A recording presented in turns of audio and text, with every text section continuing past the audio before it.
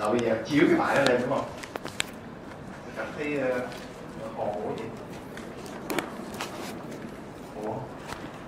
Dễ hiểu. Chẳng qua là cách truyền đạt nó khó hiểu thôi. Đúng không? Chị cũng có chuyện Mình nghĩ là vậy. Đồ ăn. Đây. Có phải là sự thay đổi về mặt giá vốn sự thay đổi về mặt giá vốn, nó đã làm cho lợi nhuận gộp của chúng ta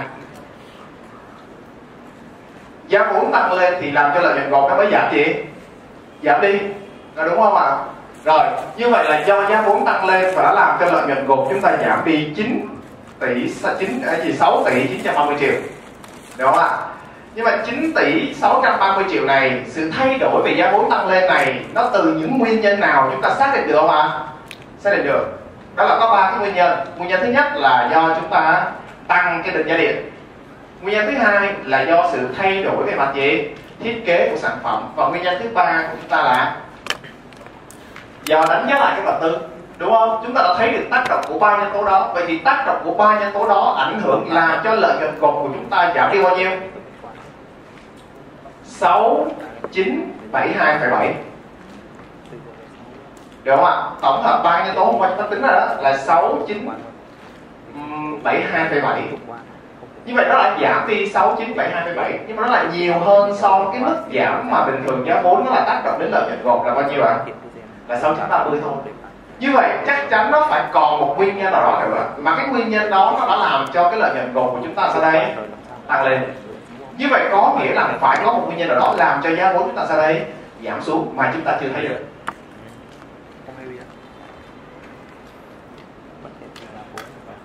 Đúng không ạ? Và cái mức mà nó điều chỉnh làm cho cái giá vốn của chúng ta nó làm cho giá, giá vốn giảm và điều chỉnh làm cho lợi nhuận của chúng ta tăng lên là bao nhiêu? 42,7 Đúng không ạ?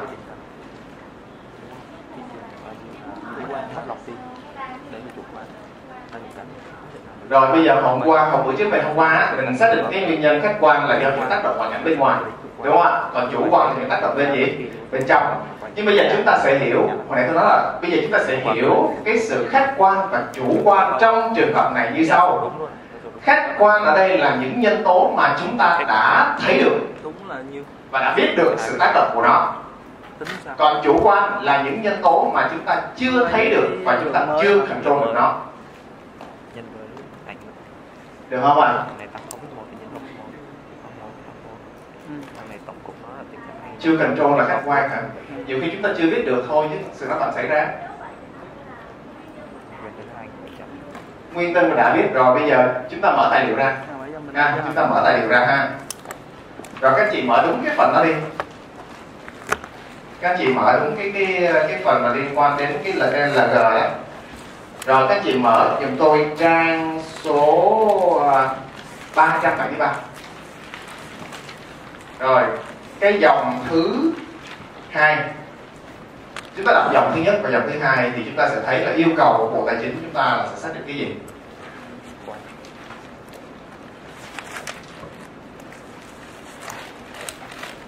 Chứ không phải là xác định những nguyên nhân chưa biết. Người ta ghi là, đây, chị đọc cho mình ha. Xác định các nguyên nhân chủ quan và khách quan nào dẫn đến sự thay đổi của sản phẩm. Chứ người ta nói không có nói là à, những nguyên nhân đã biết và những nguyên nhân chưa biết. Được không ạ? Rồi thì yêu cầu của bộ tài chính là họ đưa ra như vậy. Và chúng ta sẽ hiểu cái sự khách quan và chủ quan trong trường hợp này là uh, chủ quan khách quan là những cái nhân tố là những cái sự thay đổi mà chúng ta đã biết được và nằm trong cái kế hoạch của chúng ta thì chúng ta đã control nó được.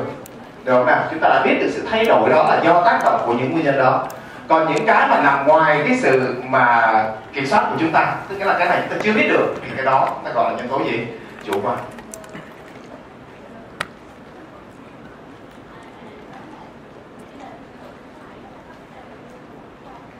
Nó đều sử dụng chữ khách quan và chủ quan. Các anh chị làm tiếp một cái bài số 7 đi, chúng ta cũng sẽ có như thế.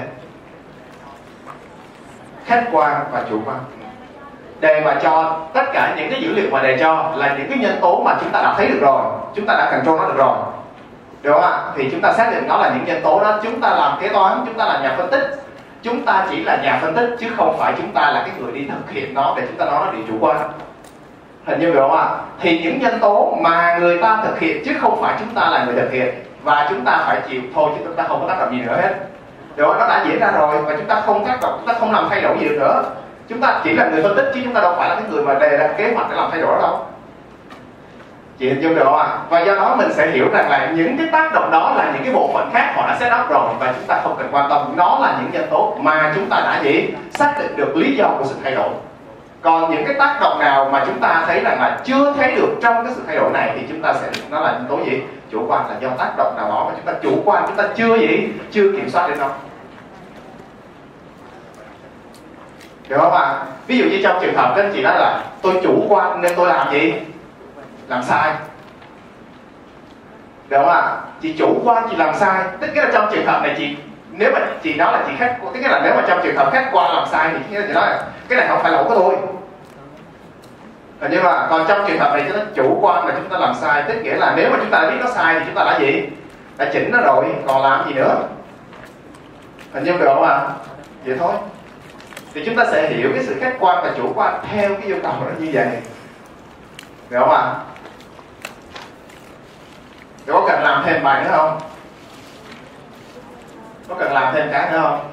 Rồi thôi là làm thêm cái nữa đi cho nó nó, nó cảm thấy là nó, nó thỏa mãn chút. Nhiều khi à rồi rồi phân tích quên quên. Chúng ta còn phân tích nữa còn phân tích này yên tâm đi, mình đã canh rồi. Chúng ta đủ thời gian để còn cái bữa cuối cùng chúng ta sẽ làm ôn tập canh canh canh canh tôi canh thời gian rồi. Chúng ta sẽ còn đủ thời gian để chúng ta làm điều đó.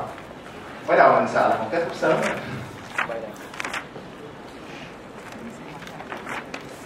Rồi. Thế thì à, ở đây chúng ta sẽ phân tích cái vấn đề như sau ha. Thứ nhất là chúng ta thấy là lợi nhuận gộp của năm trước so với năm nay. Ủa, năm nay so với năm trước chứ. Lợi nhuận gộp của năm nay so với năm trước.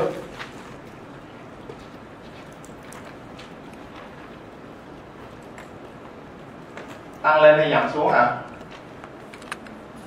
tăng lên 9 ấy rồi 6 tỷ 734 triệu đồng. Tăng lên 6 tỷ 734 triệu đồng. Tương ứng mức tăng là 16,8%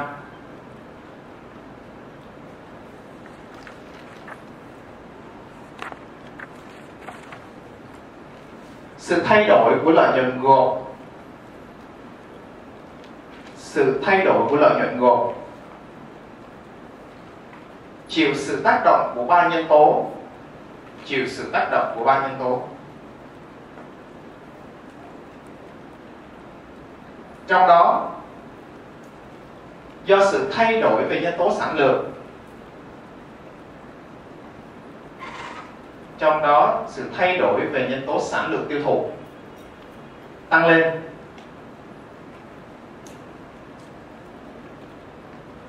Đã làm cho lợi nhuận gộp tăng. Đã làm cho lợi nhuận gộp tăng.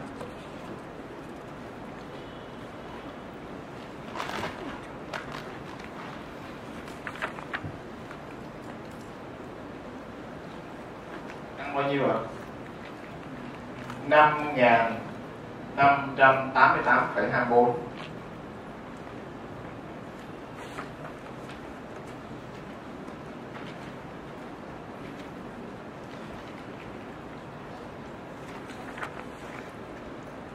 Đây là một nhân tố tác động chủ yếu đến sự thay đổi của lợi nhuận gộp đây là một nhân tố chủ yếu tác động đến sự thay đổi của lợi nhuận gộp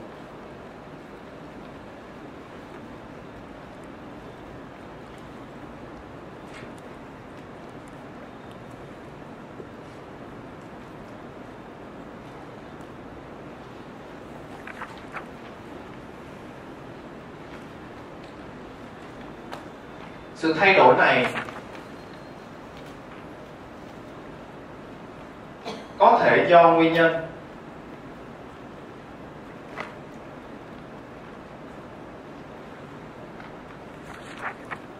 Hoạt động kinh doanh khả quan hơn.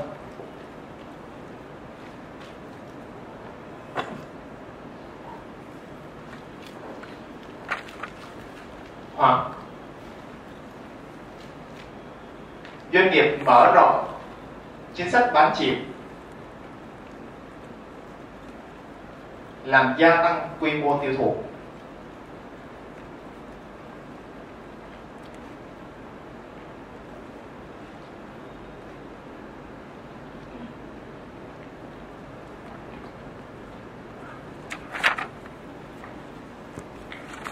Rồi. Tiếp theo là dưới tác động của nhân tố kết cấu mặt hàng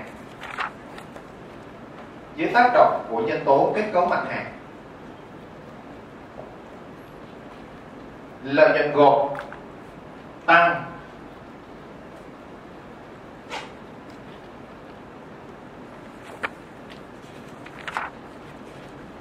một trăm bảy mươi năm bảy mươi sáu triệu đồng.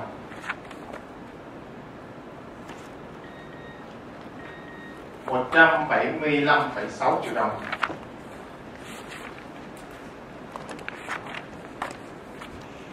Nhìn chung, cơ cấu mặt hàng, tiêu thụ của doanh nghiệp tương đối ổn định.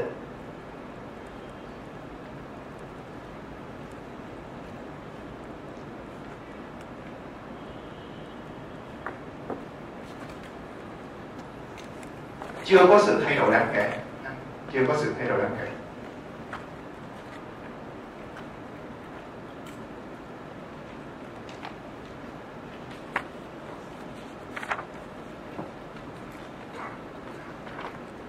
Rồi, tiếp theo là dưới sự tác động của nhân tố lợi nhuận gộp đơn vị. Dưới sự tác động của nhân tố lợi nhuận gộp đơn vị.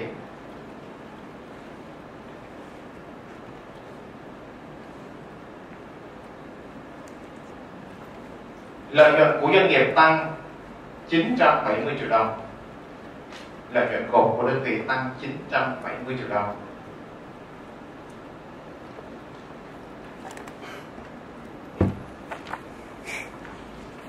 Do mức tăng về giá bán. Do mức tăng về giá bán. Cao hơn so với mức tăng về giá vốn.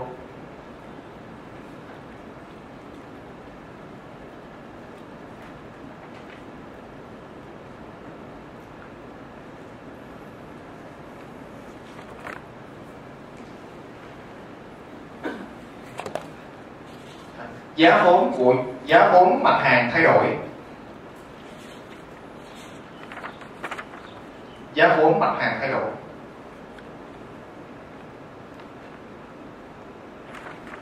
Theo xu hướng tăng lên. Theo xu hướng tăng lên. Chủ yếu do tác động của các nguyên nhân sau. Chủ yếu do sự tác động của các nguyên nhân sau.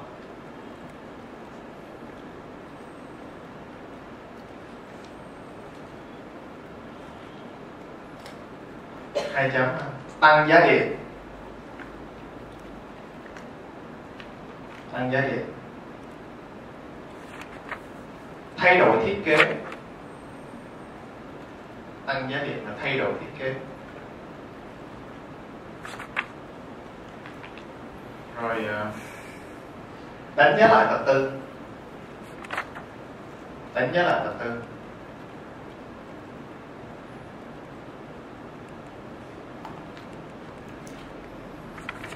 Đây là những nhân tố.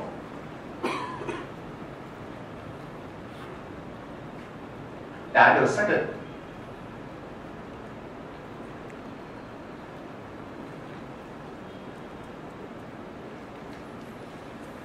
Làm giá vốn, hàng bán thay đổi.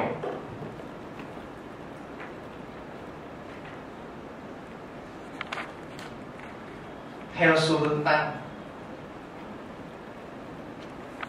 dẫn đến lợi nhuận gộp đơn vị. Thay đổi. Dẫn đến lợi nhuận gộp thay đổi. Và làm cho tổng quy mô lợi nhuận gộp của doanh nghiệp và làm cho tổng quy mô lợi nhuận gộp của đơn vị.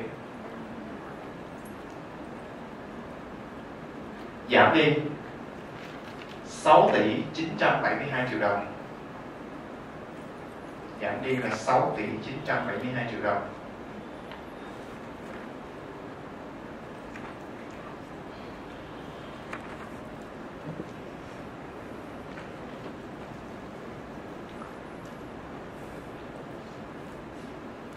Phải ha còn những nhân tố khác mà doanh nghiệp chưa xác định được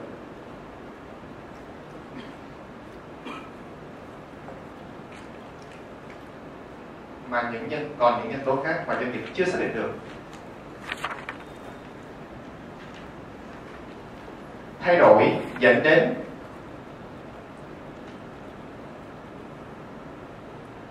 thay đổi dẫn đến giá vốn hàng bán đơn vị dẫn đến giá vốn hàng bán đơn vị.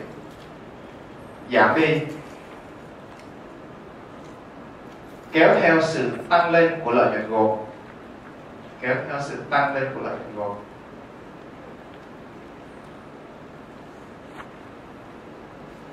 là 42,7 triệu đồng.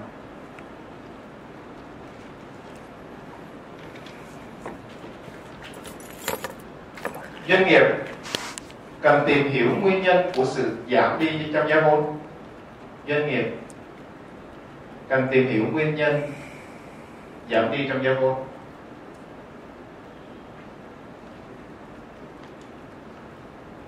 Và có những biện pháp để thúc đẩy các nhân tố này.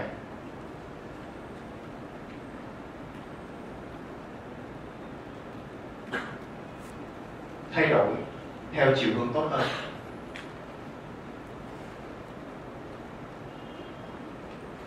Giúp gia tăng quy mô lợi nhuận gộp cho đơn vị. Giúp gia tăng quy mô lợi nhuận gộp cho đơn vị.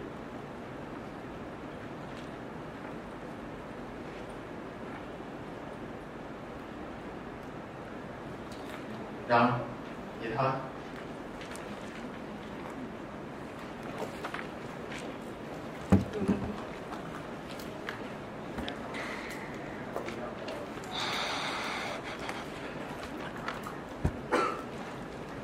kiện nóng cho rồi bây giờ chúng ta qua tiếp mình sẽ bánh mình sẽ bánh hy vọng hôm nay chúng ta sẽ học được nhiều bởi vì uh, để dành thời gian chúng ta giải đề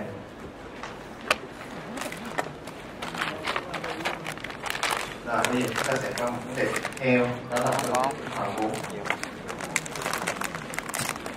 cái này là học ở trong môn mà thường chúng ta tiếp cận nó trong môn cái tóc quản trị bắn đúng không đúng không môn cái tóc quản trị chúng ta là chịu khoảng vốn này khi cái loại mà xin chi không nhưng mà có một có quan thì có coi lại thì thấy là có một chỗ mà mình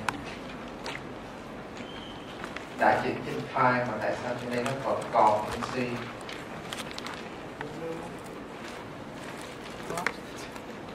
chút nữa lên nó sẽ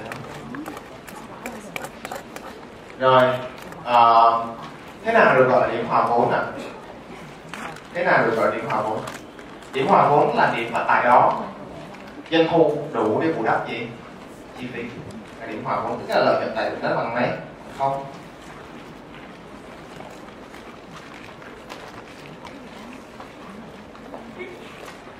lợi nhuận tại điểm nó bằng không ha. rồi à, lý do vì sao chúng ta cần phải phân tích về điểm hòa vốn bởi vì chúng ta cần phải xác định được chúng ta bán ở mức độ bao nhiêu tiêu thụ ở mức độ bao nhiêu và chúng ta đạt cái mức để chúng ta hòa vốn và chúng ta cần phải xác định cái mức đó để chúng ta có những kế hoạch để chúng ta phát triển và gia tăng cái quy mô tiêu tiêu thụ để vượt qua cái mức hòa vốn này chứ nếu không chúng ta sẽ bị gì?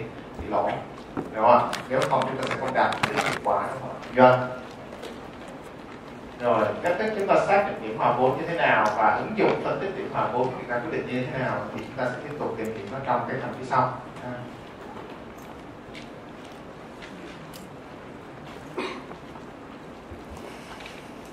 điểm hòa vốn là điểm mà tại đó cái doanh thu đủ để bắt bù đắp các khoản chi phí bỏ ra.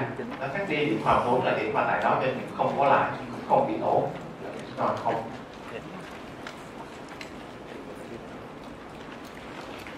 Nhưng mà thực sự là chúng ta không lỗ điểm hòa vốn thực sự nó nằm ở đâu?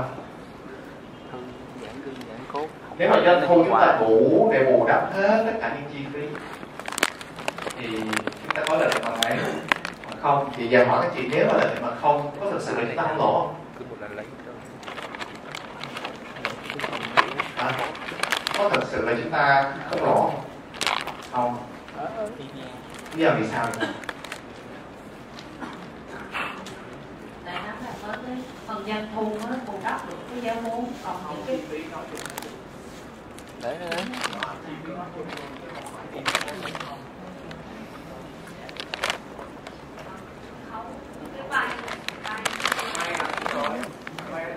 vai vai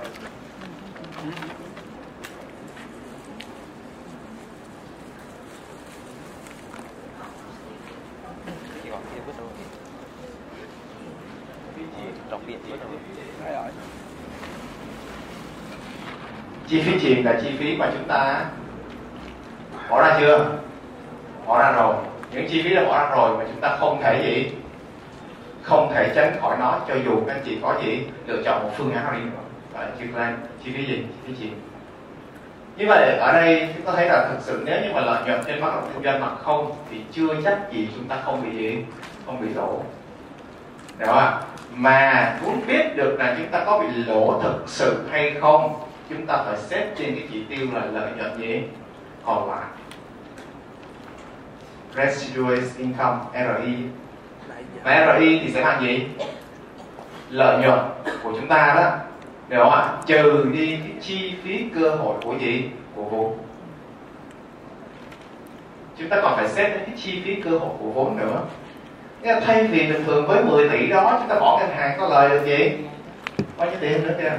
Còn bây giờ 10 tỷ nó bỏ vào hoạt động kinh doanh chúng ta đi bằng mấy? Mà không. Trong khi đó bây giờ tôi cầm 10 tỷ tôi gửi ngân hàng một tháng tôi được gì? Bảy tám trăm triệu tiền gì? Tiền lãi. À, bảy tám trăm triệu mới chứ. Bảy tám trăm triệu tiền lãi. Đúng rồi như vậy thì nếu mà chúng ta nói là thực sự có hiệu quả là chúng ta phải lấy cái số gì? Lợi nhuận đó là chúng ta trừ đi cái chi phí cơ hội đó. Nếu như mà nó thực sự vẫn còn dương và lớn hơn không thì lúc đó mới gọi là gì? Có hiệu quả. Hiểu không ạ? 8% 100 lớn hơn rồi ngoài ra nó còn tính đến cái nói chung là cái báo cáo kinh doanh thì nó chỉ đối với của chúng ta thì nó chỉ có cái yếu điểm cho đó thôi. Tức là nó chưa xét đến cái yếu tố về chi phí cơ hội của gì của vốn trong cái đó. Hiểu không nào? Còn nếu chúng ta đã phân tích tài chính rồi thì chúng ta sẽ phân tích cho hết cái cạnh của nó luôn. Nghĩa là chúng ta sẽ tính thêm cái chi phí cơ hội của vốn nữa Để chúng ta kết luận rằng được rằng cái hoạt động kinh doanh của nó thực sự hiệu quả hay không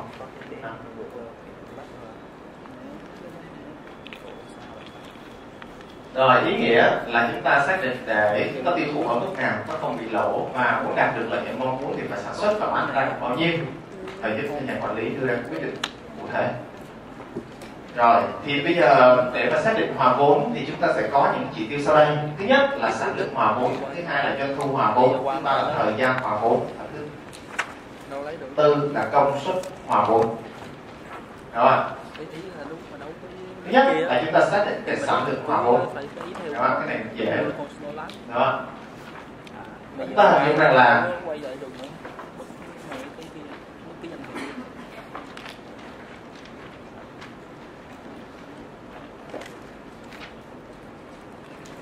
Lên để được. Bộ thẻ này biết nè LB là LB là gì? lợi nhuận thì bằng gì ạ? Lợi nhuận thì bằng là doanh thu. Trừ đi nếu chúng ta xét về cái biên là các ứng xử của chi phí chúng ta sẽ tách thành là gì? À, biến phí và định gì định phí đúng không ạ? Còn nếu chúng ta xét về chức năng của chi phí thì lúc đó chúng ta có giá mua hàng bán và chi phí bán hàng chi phí gì? Quản lý doanh nghiệp đúng không ạ? Tức là khi mà lập báo cáo kinh doanh người ta sẽ có nhiều cái cái phương pháp người ta lập có thể người ta sẽ lập theo phương pháp là chức năng của chi phí hay là theo các ứng xử của chi phí thì trong đó thì bây giờ chúng ta nếu mà xét về cái sản lượng hòa vốn hay là doanh thu hòa vốn này thì bắt buộc chúng ta phải đi theo cái mô hình là ứng xử của chi phí trong cái xử, xử lý được. Thì bây giờ lợi nhuận thì bạn sẽ bằng doanh thu trừ đi biến phí và trừ gì định phí. Đúng không nào? Thế thì bây giờ nếu mà hòa vốn thì chỗ này lợi nhuận bằng mấy? Bằng không. Đúng không ạ? Doanh thu thì bằng sản lượng nhân với lại gì? À, giá bán. Biến phí thì bằng sản lượng nhân với lại biến phí đơn vị rồi cái này giá bán đơn vị và biến phí đơn vị. Và biến phí thì người ta thường hay ký hiệu là variable cost đúng không ạ? Chi phí có thể biến đổi. Trừ đi thẳng định phí thì ký hiệu đó là f fixed cost đúng không ạ? Rồi như vậy hai thằng này thì nó có sản lượng là chung. Do đó chúng ta sẽ đặt sản lượng làm thừa số chung nhân cho g trừ trừ v và trừ f. Bây giờ bằng không chúng ta chuyển cái gì đây? Chuyển cái thằng uh, bây giờ chúng ta cần tính cái sản lượng này đúng không? Như vậy cái sản lượng này tại lợi nhuận bằng không thì sản lượng này được gọi là sản lượng hòa vốn. Như vậy cái sản lượng hòa vốn thì nó sẽ bằng cái gì? Sản lượng hòa vốn thì sẽ bằng định phí chia cho giá bán trừ đi biến phí đơn vị. Đúng không ạ? Giá bán mà trừ đi biến phí đơn vị thì chúng ta gọi nó là gì? Gọi nó là gì? Giá bán trừ đi biến phí đơn vị người ta gọi là lãi trên biến phí. Đúng không ạ? Lãi trên biến phí. Còn trong miền nam chúng ta thì người ta sẽ gọi nó là số dư đạm đạm phí đơn vị. Hiểu không ạ? Giá bán đơn vị trừ đi biến phí đơn vị nó chính là số dư đạm phí đơn vị. Hiểu không? hay còn gọi là lãi trên biến phí. Người bắc thì người ta sẽ gọi nó là lãi trên biến phí. Ha. còn trong miền nam chúng ta gọi nó là biến phí đơn vị rồi như vậy sản lượng hòa vốn sẽ bằng tổng định phí và chia cho giá bán trừ đi chi phí đơn vị.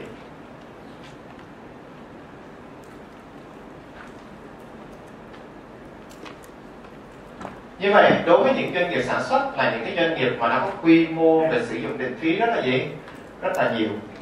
Do đó, đối với những doanh nghiệp sản xuất thì cái sản lượng hòa vốn của nó thường rất là gì? Là cao. Vì định phí mà càng cao thì trong trường hợp đó, cái sản lượng hòa vốn sẽ gì? Sẽ cao. Tức là doanh nghiệp phải nỗ lực và bán được rất là nhiều hàng thì chúng ta sẽ đạt mức độ gì? Hòa vốn. Còn đối với những cái doanh nghiệp mà cung cấp dịch vụ hay là những cái doanh nghiệp mà thương mại bình thường thì chúng ta thấy cái tỷ lệ định phí rất là gì? Thấp. Nên cái mức độ hòa vốn của nó cũng tương đối là gì? Mà thấp dễ thở hơn. Hiểu không nào? Còn bây giờ chúng ta muốn tính và doanh thu hòa vốn thì đơn giản thôi. Sản lượng hòa vốn. Bây giờ doanh thu thì bằng gì? Sản lượng và nhân với lại giá bán. Các chị bị, bị nhân với là thằng gì thôi? G thôi, thì chúng ta sẽ ra được cái thằng dân thu hòa vốn. Đó, chúng ta sẽ ra được dân thu hòa vốn. Được chưa? Rồi, cái thằng g này nè, thì thay vì đó thì tôi sẽ, thay vì tôi biết như thế này, thì tôi sẽ viết lại như thế này.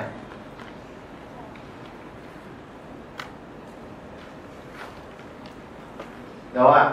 Thì cái thằng g trừ g và trên g này, người ta gọi nó là gì? Tỷ lệ lãi trên biến phí hay còn gọi là tỷ lệ suy giảm phí. Đúng không g trừ v trên g người ta gọi là tỷ lệ lãi trên biến phí hay còn gọi là à, hay còn gọi nó là tỷ lệ suy giảm phí. Ha. tỷ lệ suy giảm phí.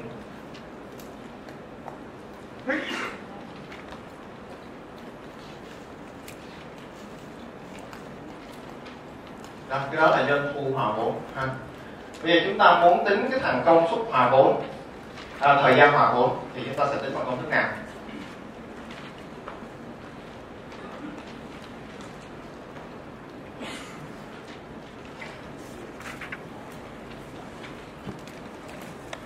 Thời gian hòa vốn tức là bắt bao lâu thì chúng ta có thể thu hồi hòa được cái phần vốn chúng ta bỏ ra. Tức là cái vốn chúng ta thu hồi được đó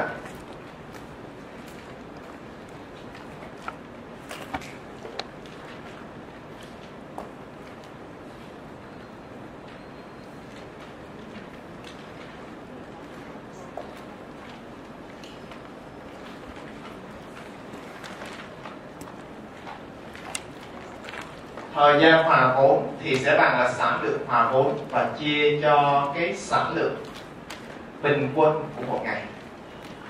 Hiểu không ạ?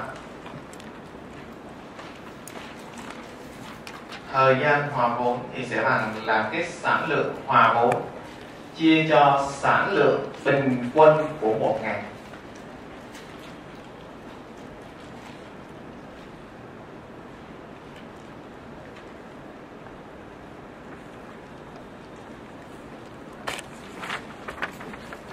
À, hoặc là nó sẽ được tính bằng công thức là lấy doanh thu hòa vốn và chia cho doanh thu bình quân của một ngày. Đó doanh thu bình quân của một ngày.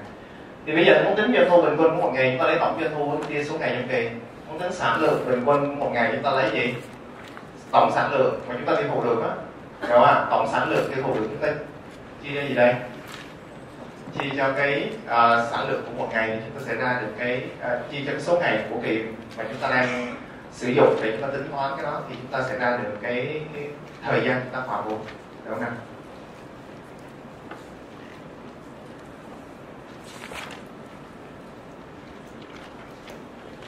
chưa? Rồi bây giờ tiếp theo là công suất hòa vốn. Công suất hòa vốn CH à, trong cái giáo trình chúng ta thì người ta còn có ký hiệu khác nữa đó là chữ H. Chữ H không không chữ H nhỏ hơn hiểu không ạ? Đó là công suất hòa vốn. Thì uh, công suất hòa vốn thì được tính bằng sản lượng hòa vốn và chia cho sản lượng có thể khai thác được. Hiểu không ạ? Lấy sản lượng hòa vốn và chia cho sản lượng có thể khai thác được.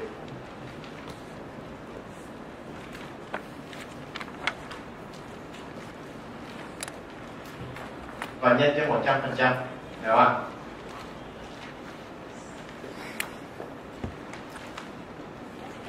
công suất hòa vốn mà nhân cho 100 phần trăm và nếu như trong trường hợp cái công suất này nó sẽ như thế nào thì tốt, các chị? Nhỏ hơn trăm phần trăm thì tốt hay lớn hơn trăm phần trăm thì tốt? Công suất hòa vốn, tức nghĩa là chúng ta sản xuất bao nhiêu thì chúng ta sẽ đạt độ gì? Hòa vốn nó nhỏ hơn trăm phần trăm hay là nó lớn hơn trăm phần trăm thì tốt mà nó nhỏ hơn trăm phần trăm mới được, đúng không ạ? Rồi, như vậy thì chúng ta sẽ có cái luận là nếu mà cái này nó nhỏ hơn một trăm phần trăm thì mới ok. Còn nó lớn hơn một trăm phần trăm thì có nghĩa là trong trường hợp này chúng ta không thể đạt được độ gì. Hòa vốn thì tốt hết nghĩ khỏi làm. Được không ạ? Rồi, như vậy nếu như trong trường hợp mà chúng ta lấy một trăm phần trăm mà chúng ta trừ đi công suất hòa vốn đó, thì người ta sẽ ra một cái mức gọi là cái khoảng cách về an toàn công suất. Chúng ta chúng ta lấy 100 phần trăm. Nếu chúng ta lấy 100 phần trăm, chúng ta trừ đi cái công suất hòa vốn, thì nó sẽ ra một cái chỉ tiêu được gọi là khoảng cách về an toàn công suất. Khoảng cách an toàn công suất. Như vậy có nghĩa là nếu mà khoảng cách này càng gì? Càng lớn, tức nghĩa là chúng ta sẽ hoạt động càng gì? Càng an toàn hơn. Đúng không ạ? Cái khoảng cách này càng lớn, có nghĩa là cái cái công suất hòa vốn nó càng thấp. Đúng không càng thấp thì chúng ta sẽ dễ để lấy lời được hơn, thì chúng ta sẽ hoạt động nó nó ok hơn. Ha. nếu lấy 100 phần trăm mà chúng ta trừ cho cái công suất hòa vốn này này thì lấy 100 phần trăm ha. Trừ đi cái khoảng cách phần trăm đó thì chúng ta sẽ ra được một cái đó chúng ta gọi là khoảng cách về an toàn công suất chưa. Rồi giờ để ờ, à, coi. Cái này. Đây là một cái đồ thị phân biệt. Đó đây là đồ thị và chúng ta sẽ thấy rằng là nó sẽ có cái thằng à, tổng doanh thu. Doanh thu thì bằng sản lượng nhân với lại gì ạ? Doanh thu thì bằng sản lượng nhân với lại giá giá bán đơn vị. Được không ạ? Chi phí thì sẽ bằng tổng biến phí. Cộng với gì? Tổng định phí, đúng không ạ? Định phí cộng với lại biến phí thì bằng sản lượng và nhân với lại gì? Biến phí đơn vị. Đúng không nào? Như vậy, thằng này, cái hệ số gốc của nó, có, đúng không? Nhưng mà hệ số chặt của nó là mấy? Hệ số gốc của nó là có, nhưng mà hệ số chặt nó là không. Tại vì nó không có hàng số trước nó. Do đó, cái đồ thị của thằng doanh thu thì phải xuất phát từ gốc gì? Gốc tọa độ, bởi vì cái số chặt của nó là từ không trở lên hiểu không ạ? Còn đối với lại đồ thị mà liên quan đến gì? Định phí cái tổng chi phí, thì nếu nó có hệ số chặt là thằng gì? Là định phí này, nên chắc chắn nó sẽ phải xuất phát từ cái chỗ định phí đi lên, chứ không thể nào nó xuất phát từ số không được. Hiểu không ạ? Rồi, như vậy thì giao nhau giữa cái chỗ mà tổng đường tổng chi phí với lại đường tổng doanh gì? Doanh thu thì cái điểm giao nhau đó thì nó sẽ gọi là điểm gì? Điểm hòa vốn hiểu không ạ? Cái điểm mà tại đó, cái tổng doanh thu đủ để bù đắp cho tổng chi phí. Cái đường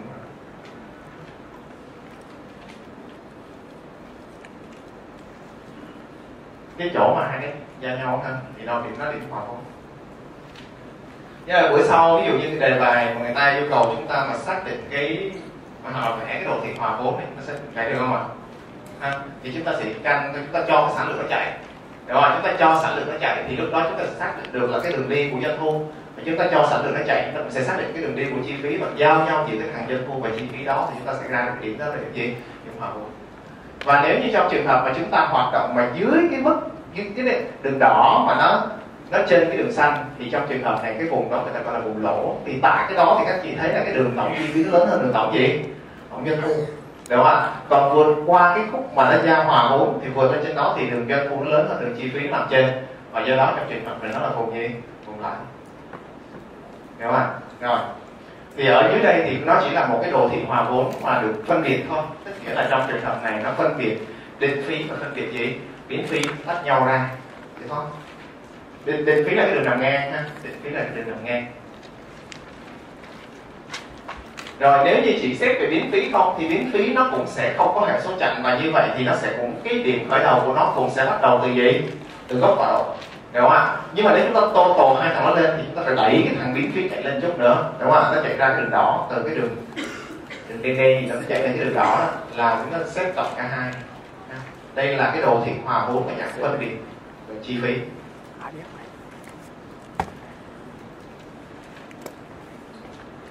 Rồi bây giờ chúng ta sẽ nói là toán thử các em các chị mở cái bài tập số số mấy?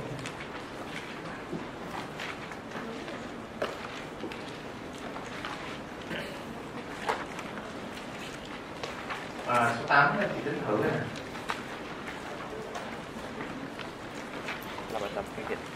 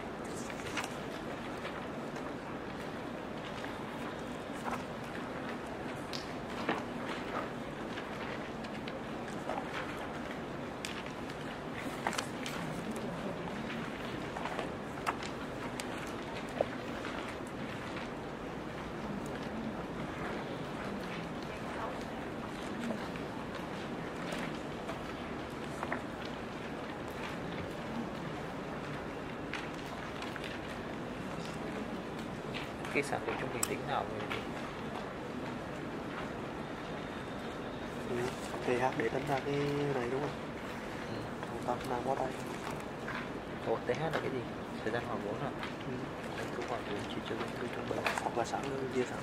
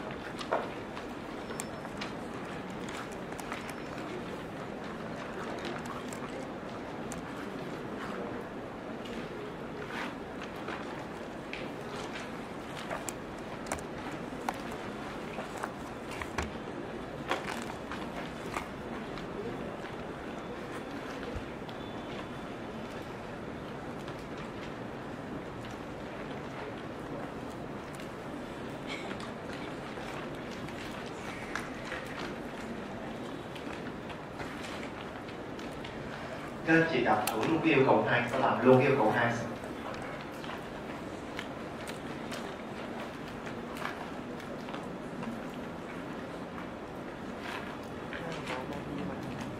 Hai cái nước này. Đi học đi. Đi học đi đá bóng vậy. Phải. Chủ nhật có đá không? Không đá. Có đá không? Tôi thấy nói rồi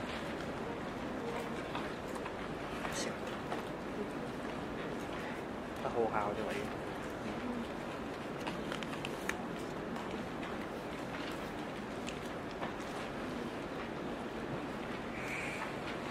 Hết tiền rồi.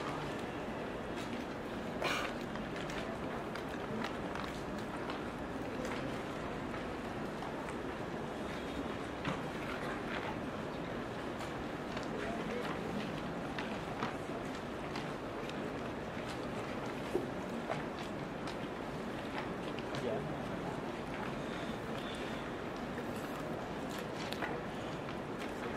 Kiếm to hai thằng điện. Thứ bảy dắt đi đá bóng.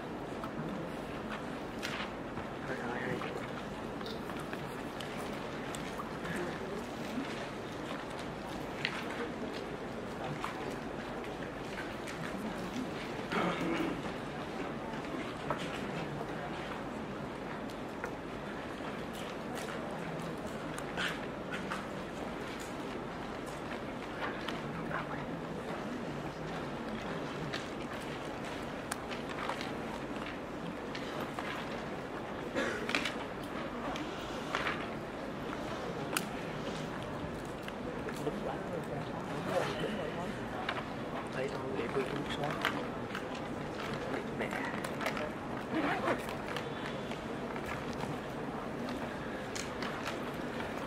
nữa Nhắm cho biết không xóa quen vậy nó kêu kiện chạm bút vào quá kiện được rồi được rồi cái cái cái, cái gì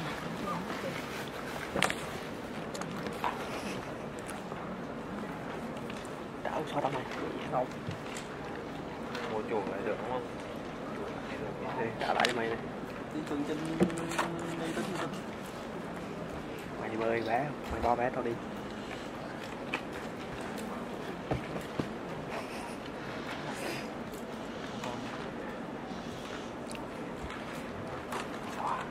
gì Chòa, tới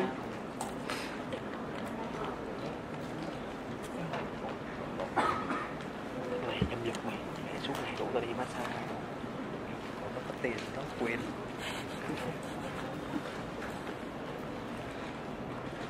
quên có một năm chơi chán rồi giờ nó chuyện chi quận năm cường nó biết quận năm rồi được nha. À, để mà đạt được cái lợi nhuận mục tiêu tức nghĩa là nếu như mà lợi nhuận bằng không tức là lợi, lợi nhuận ở đó nó bằng không tức nghĩa là cái mức hòa vốn còn bây giờ người ta nói là chúng ta cần phải tiêu thụ bao nhiêu nữa để mà đạt được cái mức lợi nhuận. Như mong muốn thì chúng ta cứ việc chúng ta cộng thêm cái phần lợi nhuận vào trong phần lệ phí.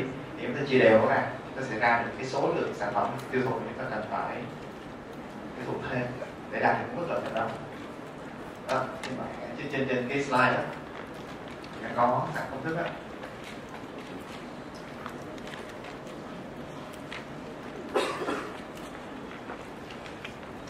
những như cái bên đây đây nó, nó, nó, nó, nó rõ hơn đúng không?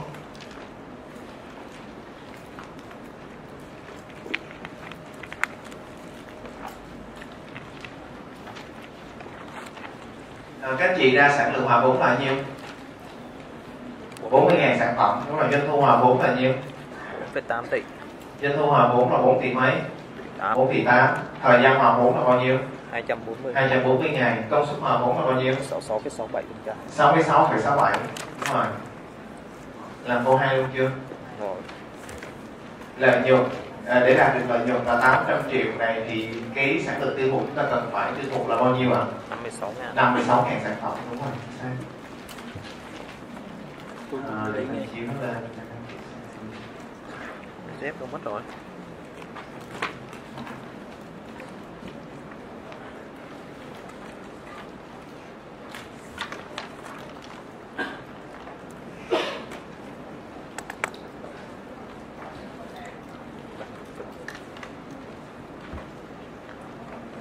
bạn này bị kiện hồi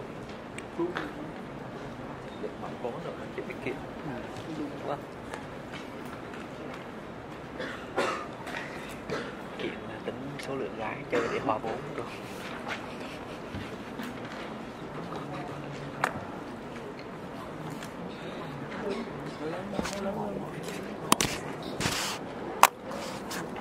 cầm nó xoay xoay dở mang cục bánh để qua lại như rồng rồng rồng Rồi xong rồi ha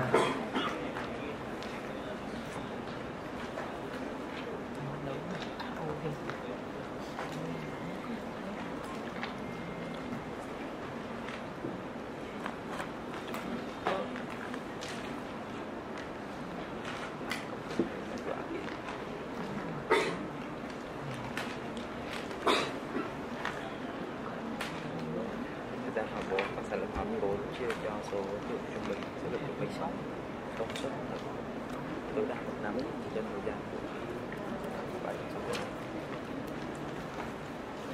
ngàn chia cho sáu mươi ngàn thì phải có số này Phải không? đến từ hòa vốn Rồi công suất của sản lượng hòa vốn chia cho số lượng Ở đấy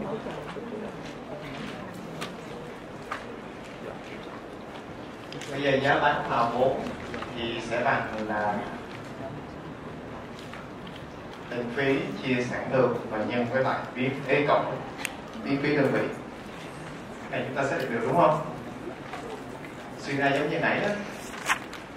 Nãy sản lượng thì bây giờ lấy ra giá bán. Hiểu không ạ? Giá bán ở chỗ này người ta gọi là giá bán hòa vốn. Còn nếu như trong trường hợp chúng ta xác định giá bán để mà chúng ta đạt được ở cái mức độ lợi nhuận nào đó, thì chúng ta cũng sẽ lấy cái tiền phí này chúng ta cộng với lại gì? Lợi nhuận và chia ngược cho sản lượng thì nó cũng sẽ ra được cái giá bán để ta có thể đạt được ở cái à, một lợi nhuận mong muốn của chúng ta. Được không nào?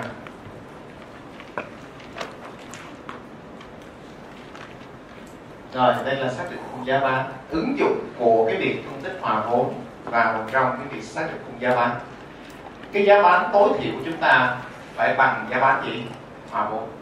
Được không ạ? Muốn bán cái gì thì bán bắt buộc chúng ta phải bán ở cái mức độ gì? Mà muốn giá bán chúng ta phải đảm bảo mức độ mà muốn trở lên chứ không thể nào giá bán ở mức độ gì?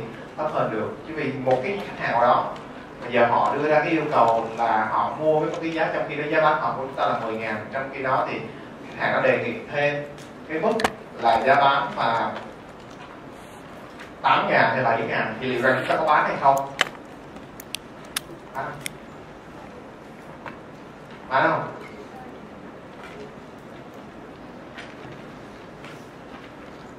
Bây giờ giả sử như cái giá bán họ của chúng ta là 10 ngàn, hiểu không ạ? Giá bán họ của chúng ta là 10 ngàn. Giá bán họ vốn là tại đó mà lợi chúng ta là mấy ạ? Không. Đúng không? Rồi, bây giờ một cái khách hàng nào đó, họ nói là bây giờ tôi sẽ mua sản phẩm của anh. Nhưng với điều kiện là anh chỉ bán được cho tôi với giá là 7 ngàn thôi. Thì giờ liệu chúng ta có bán hay không? Sao vậy? Thì bán sẽ bị gì? Chắc không? Có chắc không? Có chắc là nếu chúng ta bán thì sẽ bị lỗ? Không. Tại vì cái giá bán đó cái giá bán ban đầu 10 ngàn đồng là giá bán nó bù đắp đủ gì? Định phí rồi thì những cái hàng bán thêm đó nó không cần phải bù đắp gì. Định phí nữa như không. À, thì liệu rằng bán không? Bán thì không? Vậy chứ không nghĩ gì uy tín trong doanh nghiệp hết trơn hả?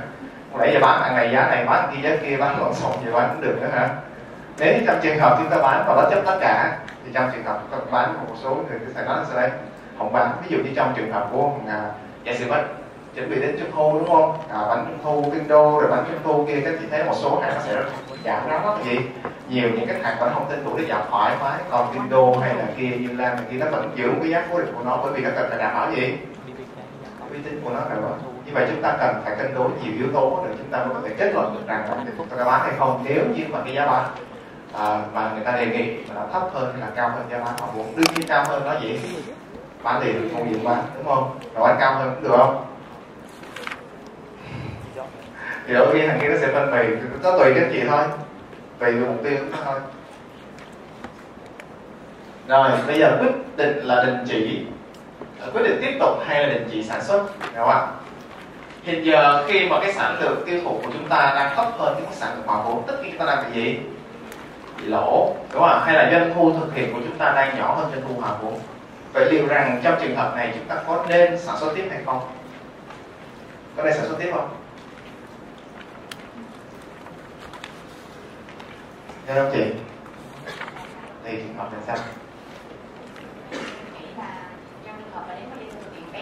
thu hòa vốn á thì mình coi là cái phần dân thực hiện nó là bù đắp hết. Cái phần định phí cho nếu như mà mình ngừng sản xuất thì mình lỗ hết cái phần định phí nhưng mà nếu mình sản xuất thêm mình tiếp tục duy trì á thì cái phần mình có thể bù được phần định phí.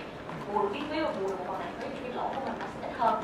Nên là trong hợp này là vẫn tiếp tục ờ, sản xuất. Chị sẽ sản xuất được bao lâu nữa? Không bù nổi miễn phí, nó biết bao giờ thì mới không bù miễn phí Những cái kỳ nào miễn phí thì nó cố định qua các năm chỉ khi nào mà cái tài sản nó hết sử dụng thì hết thì hết hoạt động đúng không?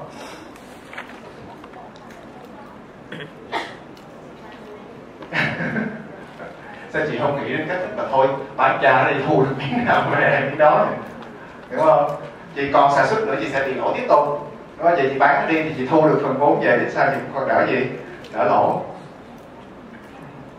rồi ok. Cũng là một ý kiến tức nghĩa là trong về mặt lý thuyết của chúng ta thì đương nhiên là nó sẽ nói như thế này. Thế là khi mà cái dịch cái cái doanh thu tiêu thụ của chúng ta mà nhỏ hơn doanh thu hòa vốn tức nghĩa là chúng ta đang bị lỗ. Thì khi mà chúng ta đang bị lỗ như vậy thì có nên tiếp tục sản xuất tiếp hay không? Một số người sẽ trả lời là à, chúng ta không nên sản xuất tiếp bởi vì lỗ chúng ta sản xuất làm gì? Đúng không ạ? À? nhưng mà trong trường hợp này chúng ta thấy rằng do chúng ta đã thực hiện cái hoạt động đầu tư từ trước đó rồi nếu chúng ta không tiếp tục hoạt động thì coi như chúng ta sẽ không phát sinh doanh thu và chúng ta không phát sinh biến biến phí nhưng chúng ta vẫn phát sinh gì định phí thì chúng ta sẽ vẫn bị lỗ cái phần gì định phí đó còn nếu chúng ta sản xuất hoạt động và chúng ta cầm chừng và cái phần đó nó bù đắp được phần nào của định phí thì chúng ta cũng sẽ bớt gì bớt phần lỗ đi đúng không ạ mà đó là về lý thuyết chúng ta nói như vậy thôi còn thực tế thì nó cũng phải phụ thuộc vào cái mức độ chịu đựng gì của mỗi người nữa vốn chúng ta có đủ tiền lực thì chúng ta có đủ đi chịu đựng lâu dài như vậy hay không đúng không ạ? À? rồi, quyết định chấp nhận hay từ chối một đơn đặt hàng đó. Đúng không ạ? Quyết định chấp nhận hay từ chối một đơn đặt hàng đó. Hiện giờ sản lượng tiêu thụ của chúng ta đang lớn hơn cái sản lượng hòa vốn. Là quy mô của chúng ta đang lớn hơn cái sản lượng hòa vốn. Trường hợp thứ nhất, nếu như trong trường hợp có một người đó đề nghị rằng sẽ mua thêm một cái số lượng sản phẩm nữa với cái trường hợp là số lượng sản phẩm tiêu thụ đó cộng với số lượng sản phẩm hiện giờ chúng ta đang bán là quy 1 cộng với quy 2 mà nó nhỏ hơn so với cái công suất, nhỏ hơn hoặc bằng so với công suất, tức là năng lực sản xuất tối đa của doanh nghiệp doanh nghiệp. Thì trong trường hợp đó, cứ một cái đơn vị mà chúng ta bán thêm, tức nghĩa là cứ một cái đơn vị Q2 chúng ta bán thêm thì lợi nhuận của chúng ta sẽ đúng bằng là Q2 nhân với lại cái tỷ lệ, nhân với lại cái là gì số dư nợ phí đơn vị hay gọi tỷ lệ tỷ lệ lãi cho gì biên phí. Đúng không bởi vì sao? Bởi vì nó không cần bù đắp gì. Phí nữa đã đạt mức độ hòa vốn tức nghĩa lợi cho chúng ta, cái phần doanh thu thu đó đã bù đắp đủ cho cái phần định phí rồi. Thì nhiều một sản phẩm tăng thêm sẽ không phải gánh chịu phần gì. Định phí nữa được không ạ? Định phí nó tồn tại khách quan tức là có cho dù anh chỉ có bán thêm hay không bán thêm một sản phẩm đó thì nó vẫn chỉ vẫn là như đó nó vẫn tồn tại. Do đó việc nó một sản phẩm bán thêm sẽ không cần quan tâm đến gì? Định phí nếu trong trường hợp mà chúng ta đã bù đắp gì định phí được rồi. Được không ạ? Và trường hợp thứ hai là nếu như quy 1 cộng quy 2 mà nó lớn hơn cái quy công suất tức nghĩa là sao? Nó vượt quá cái năng lực sản xuất của chúng ta. Vậy là liệu rằng chúng ta có bán thêm cho họ không? Có bán không bán không? Bởi vì bây giờ công suất của chúng ta nó có nhiêu đó thôi. Bây giờ nếu như tôi bán cho họ nữa thì vượt quá cái mức công suất sản xuất. Máy móc tôi không thể sản xuất được. Năng lực tôi cũng không thể có nhà máy tôi cũng không đủ chỗ để chúng ta gì à, sản xuất và chứa hàng. Vậy trong trường hợp này bán không? Nếu như trong trường hợp mà cái quy, quy mô chúng ta nếu chỉ xét một mình quy mô chúng ta thôi á mà nó là vẫn nhỏ hơn gì? Quy công suất tức nghĩa là cái sản lượng công suất của chúng ta thì trong trường hợp này chúng ta cũng nên gì? Nên bán chứ. Đúng không? Bán chúng ta bán một phần còn phần không bán được chúng ta sao? Outsourcing ra bên ngoài hoặc đi mua ngoài về bán thêm cho nó. Chúng ta thêm được không ạ? À? à, chứ không phải nhất thiết rằng là khi mà nó lớn quá một sẽ chết cha cộng vô năng lực chúng ta có nhiêu đây. Trong khi đó chúng ta chưa sử dụng hết công suất của mình giả sử có 30 ngàn thôi năng lực sản xuất lên tới 4 gì? 40 ngàn. Trong khi đó người kia họ mua thêm 20 ngàn cộng lại 50 ngàn. Vượt quá công suất thôi nó không được rồi không làm được này như vậy đó chúng ta sẽ từ chối đi cái gì? Cái lợi nhuận tăng thêm do vì chúng ta bán cái sản phẩm gì à, mà tăng thêm. Hiện giờ chúng ta với 30 ngàn sản phẩm đó chúng ta đã có lợi nhuận rồi thì việc chúng ta bán thêm 10 à, 10 ngàn cái à, sản phẩm nữa thì nó sẽ giúp cho lợi nhuận tăng thêm. Chúng ta đúng bằng cái 10 ngàn sản phẩm đó nhân với lại cái biên phí đó cái tỷ lệ lại biên phí trên biên phí hoặc là cái số gì đã phí đơn đơn vị luôn. À.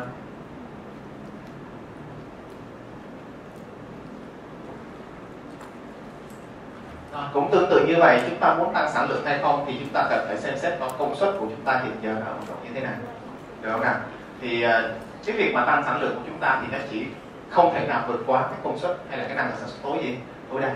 Nếu không? cái mức độ hòa vốn có rồi thì bây giờ chúng ta có cần thiết phải tăng lên hay không thì chúng ta phải xem xét công suất tối đa chúng ta là, là bao nhiêu chúng ta ờ, gia tăng cái số lượng sản phẩm chúng ta lên. Rồi cái đó là ứng dụng của điện hòa vô giờ chúng ta sẽ làm thử.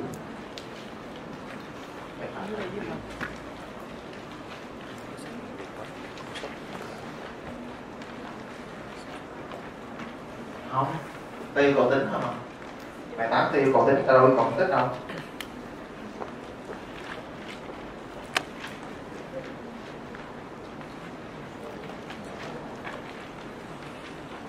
sản cộng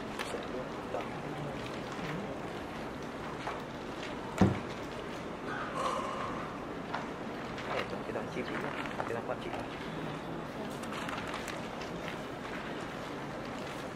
à, các anh chị thử làm bài số 9 nhé. Làm bài số chín.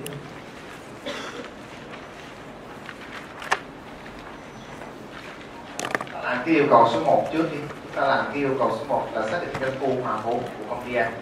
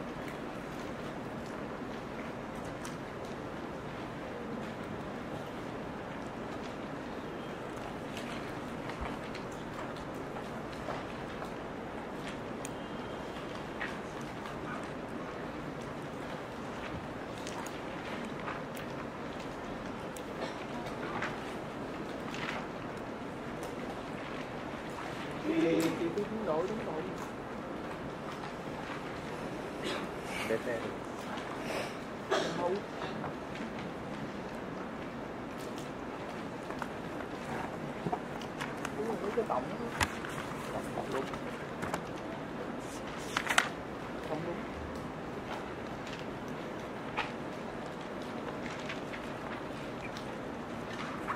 Đây. Đây.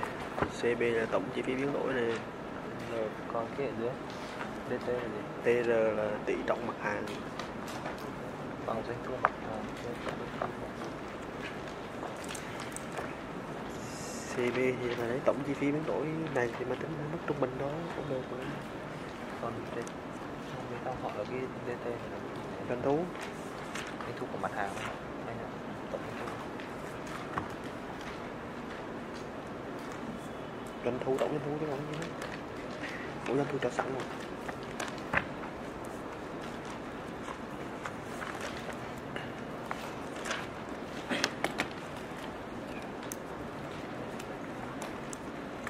limitation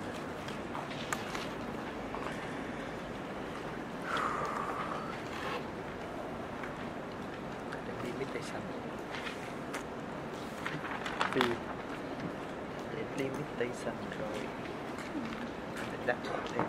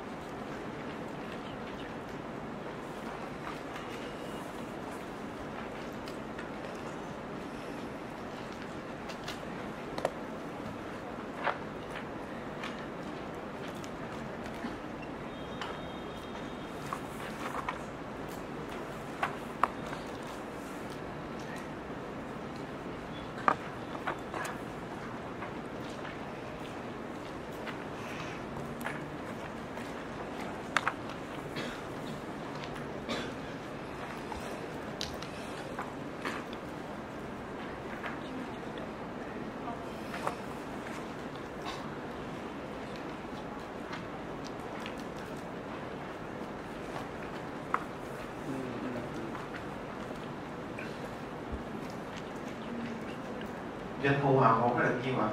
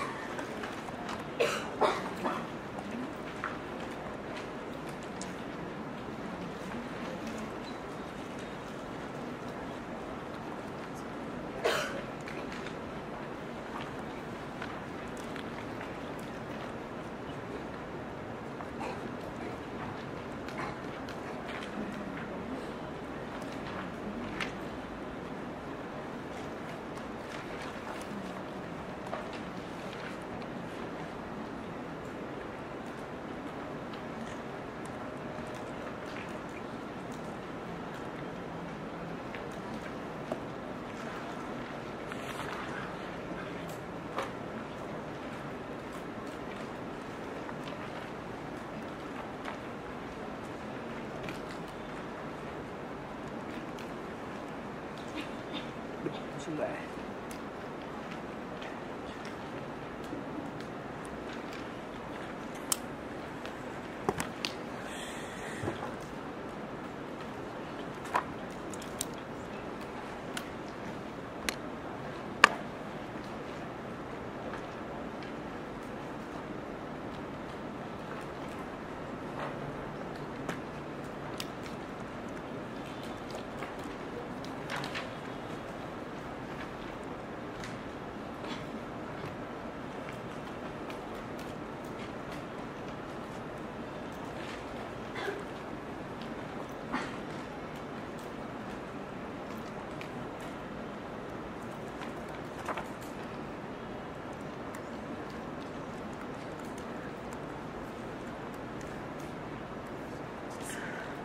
ra số lẻ đúng không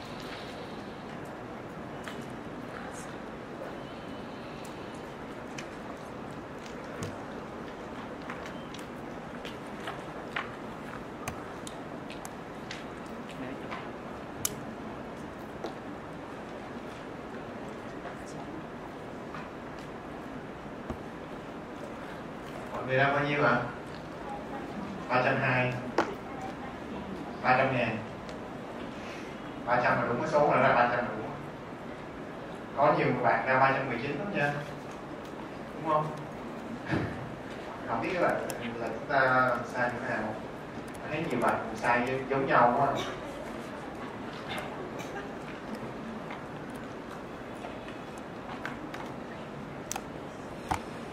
Ok, chúng ta làm sao mà ra được 319 vậy?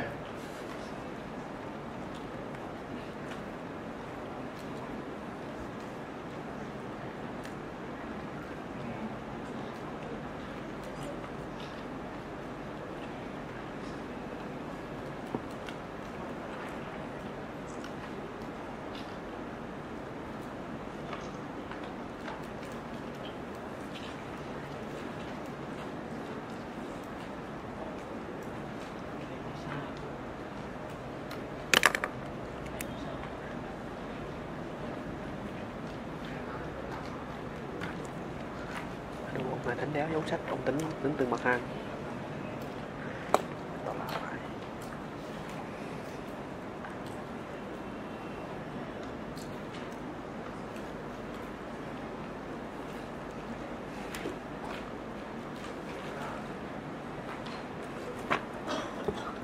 Ủa mọi người ra 300 mấy?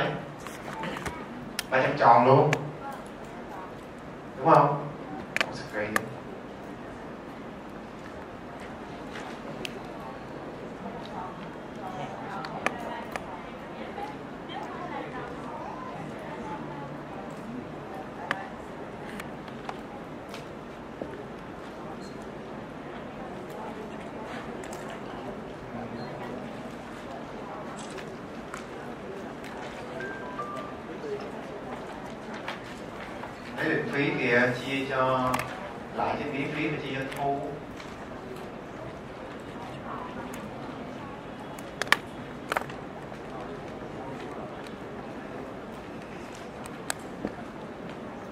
Giờ mình lấy này nha. Bây giờ mình lấy tổng định phí đi mình chia cho nè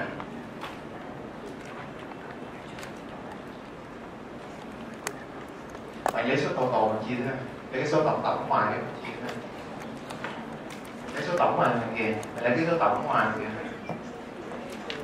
tổng định phí là 300 phải không ủa phải tổng định phí là 180 các anh chị lấy 180 các anh chị chia cho uh, 720 trừ cho 288 chia ngược lại 720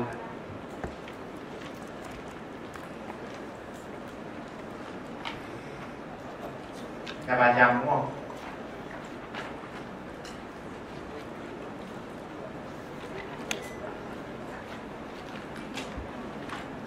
trừ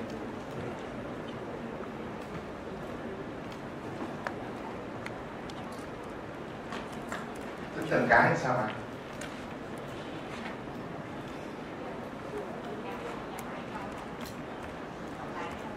Vậy nó khác đơn vị tính sao cộng?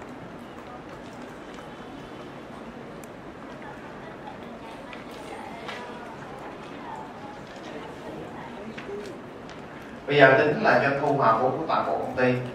Hiểu không ạ? Tính doanh thu hòa vốn của toàn bộ công ty thì chúng ta sẽ lấy cái số liệu tổng hợp của toàn bộ công ty ta gì? Chúng ta tính. Đâu nào? Khi nào người ta yêu cầu ta tính cái doanh thu hòa vốn của từng mặt hàng thì chúng ta sẽ lấy ra doanh thu hòa vốn của từng mặt hàng. Chứ doanh thu hòa vốn của từng mặt hàng cộng lại với nhau để doanh thu hòa vốn của toàn bộ công ty thì cũng chưa có đúng. Đúng không bởi vì nó còn chịu sự ảnh hưởng của nhân tố về kết kết cấu mặt hàng ta.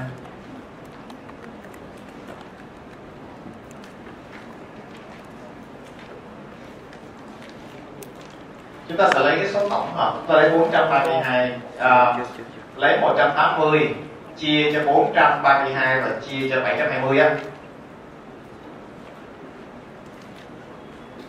Lấy cái cột tổng phía sau để tính cái phần nhân thu hòa vốn của vốn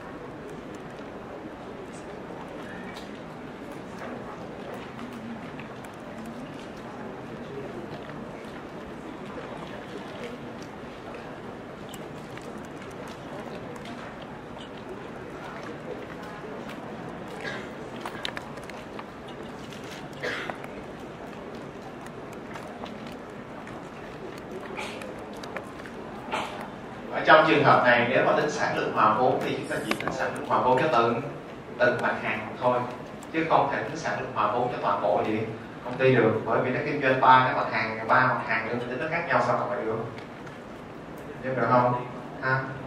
Do đó trong trường hợp này chúng ta chỉ có thể tính được cái doanh doanh thu hòa vốn toàn của công ty thôi, còn sản lượng hòa vốn tức là phải tính cho từng gì? Từng mặt hàng. Ha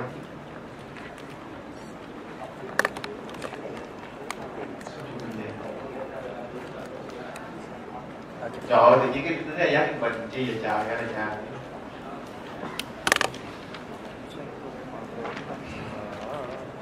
ra tỷ lệ biết quyết trung bình rồi sản lượng trung bình là nhiêu? Sao biết?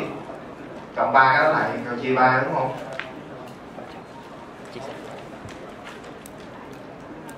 Không có được. Ba cái đơn vị tính đó là đâu được quyền cộng lại sản lượng của ba, nó đâu được cộng lại đâu. Ờ doanh thu hòa vốn hay không thì bởi vì mình nói đó là không có tính biết đối với doanh thu bài này, mình chỉ tính doanh thu hòa vốn thôi và doanh thu hòa vốn mình sẽ lấy cái cột tổng phía sau để mình tính nè, doanh thu hòa vốn bằng tổng định phí, chia tổng lãi trên miễn phí và chia tổng doanh thu được không ạ? À? Chúng ta lấy 180 chia cho 432 và chia cho 720 Lấy cột tổ tổ cùng á.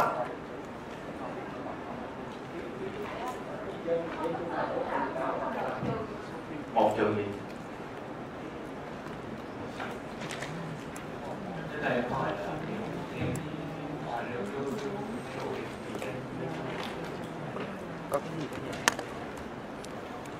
sản lượng tiêu thụ thay đổi có cái gì chú xoắn xem sản lượng tiêu thụ thay đổi thì biến phí thay đổi doanh thu thay đổi theo. Biến phí với doanh thu chạy chứ. Ờ, thì là tỷ tỷ trọng sau đó tỷ trọng sẽ nhân với mỗi cái tỷ lệ lại trên biên phí của mỗi tháng tỷ lệ lại trên biên phí của mỗi tháng. Thì bằng là là một trừ biên phí trên gia đình phí một trừ biên phí trên biên phí thì đúng rồi. B tổng chi phí cố định chia cho chia cho. Tổng định phí. Cho cho cho là mà lấy 180 chúng ta chia cho 432 và chia cho 720 thì nó ra 300 đúng không? đúng đấy Sao anh? Chung quay đâu Thế là ra 319 Đúng rồi. Không, không mình doanh thu hòa vốn tính bình quân. À, doanh thu hòa vốn không tính bình quân từ đâu ha.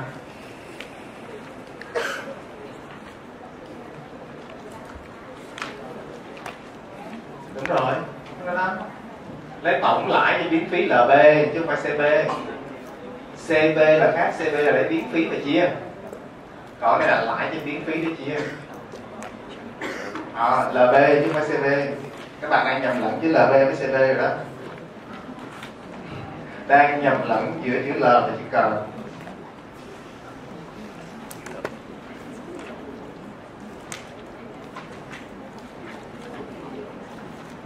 ừ, tổng lại cho miễn phí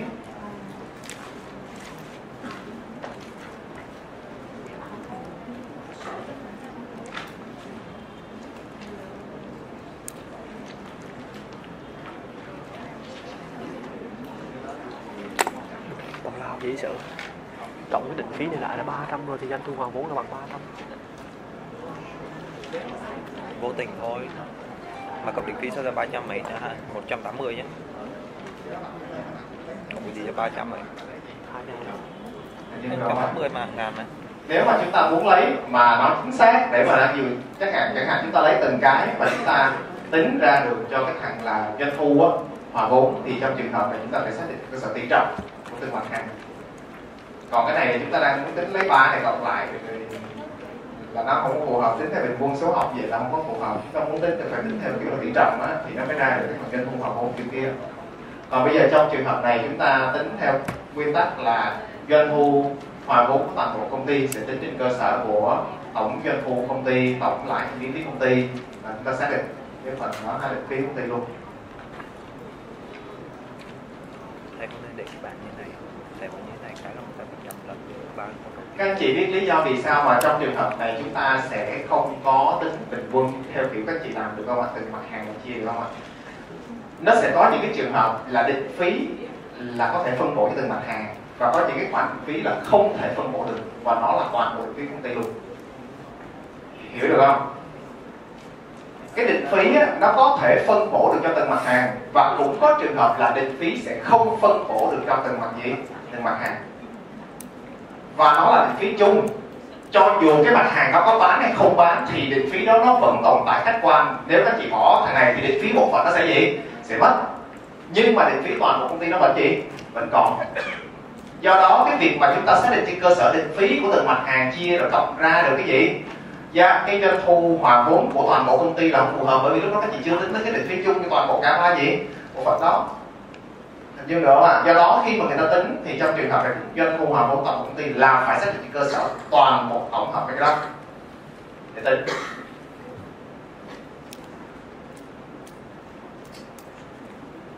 Ok không ạ?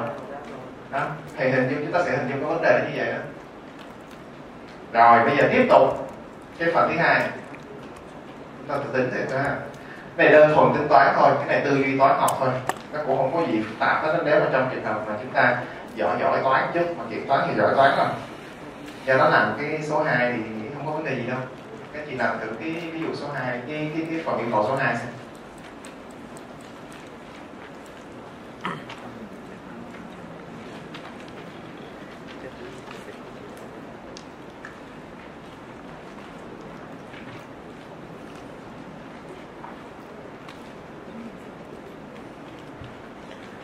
Mày tính cách thầy hay tính cách uh, trong sách tôi tính theo tỷ lệ ờ, đặng phí dịch vụ là dưới này à? Ở bên này dưới này Đến dưới này sao ta được ta sao ta không ra ta tỷ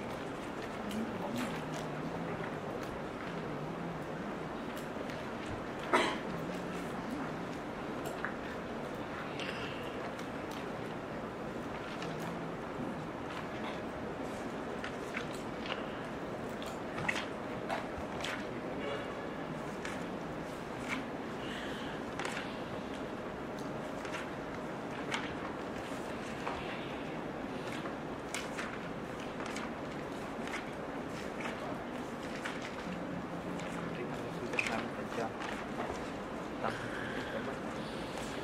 thay đổi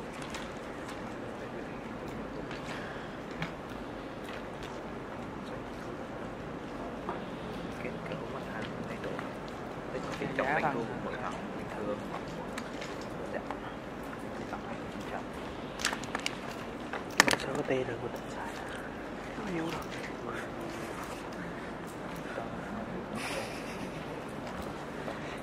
C7 2020 đây nói mày. Đâu quyết tâm tôi về ngày. Giờ là 2022 đục về vị chỉ vậy Không chắc cương. Cương 2017 2020 Sao quá? Không rong biển luôn. Không rong biển. Tập cũng có biết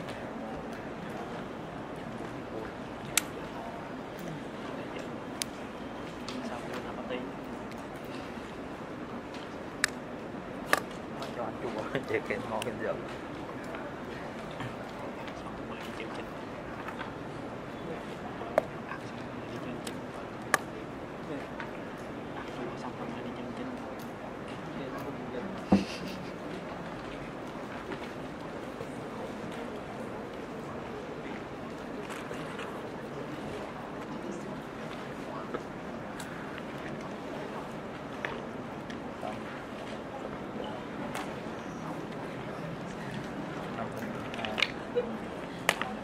bên này làm nhân một trăm bốn mươi của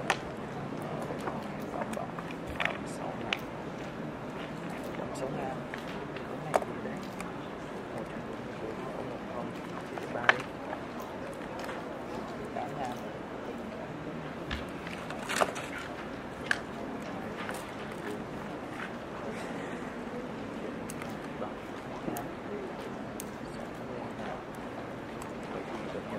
sản phẩm để nhập chuyển đổi sản phẩm Rồi nhập. Rồi nhập phí.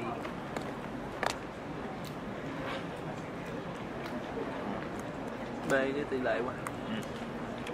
lợi nhuận của thằng Y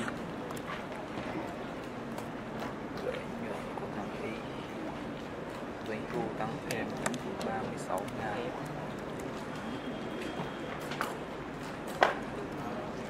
doanh thu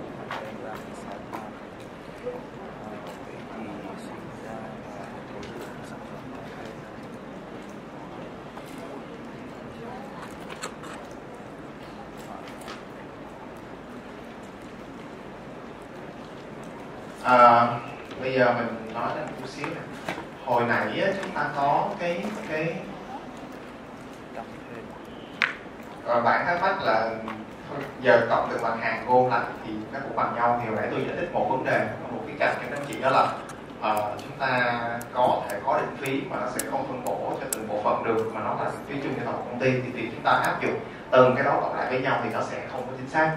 Rồi nếu trong trường hợp mà nó cho là dạng mà kiểu như thế này định phí nó phân bổ hết cho từng bộ phận rồi và, và trong trường hợp mà cái kết cấu mặt hàng chúng ta có kinh doanh nhiều mặt hàng thì chúng ta sẽ phải áp dụng theo một công thức là tính cái tỷ lệ lãi trên biến phí bình quân Đúng không? Nó tính ra được tỷ lệ lãi trên biến phí bình quân bằng cách lấy tổng doanh thu trừ đi tổng biến phí và chia cho tổng doanh thu để ra được tổng cái phần gì ra được cái tỷ lệ lãi trên biến phí bình quân và chúng ta lấy cái định phí và chia cho tỷ lệ lãi trên biến phí bình quân thì sẽ ra được cái phần doanh thu hòa vốn của toàn bộ công ty. Các chị uh, hình như vấn đề mình nói được không ạ? À, thì nó sẽ áp dụng theo công thức mà mình đang làm đó. Công thức mình đang làm lấy tổng biến phí lấy tổng doanh thu trừ tổng biến phí ra được chữ LB là tổng lãi trên biến phí. Và lấy tổng lãi trên biến phí và chia cho tổng doanh thu thì sẽ ra tỷ lệ số dư đạm phí bình quân. Hay còn gọi là tỷ lệ lãi trên biến phí bình quân. Và lấy tổng định phí của toàn bộ công ty chia cho tổng cái tỷ lệ lãi trên phí bình quân đó thì nó sẽ ra được cái doanh thu mà vốn của công ty. Đó nếu kinh doanh nhiều mặt hàng mà muốn áp dụng theo kiểu như chúng ta nói, thì chúng ta nhớ là chúng ta sẽ phải lấy bình quân, không lấy từng mặt hàng cộng lại với nhau. Đúng không ạ? Còn lý do vì sao không lấy từng mặt hàng cộng lại với nhau thì tôi đã giải thích rồi. Có thể định phí nó không thể phân bổ được cho từng bộ phận mà nó tồn tại tách biệt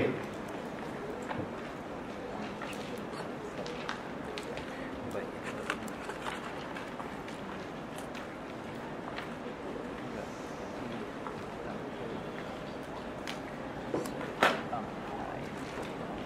sản phẩm này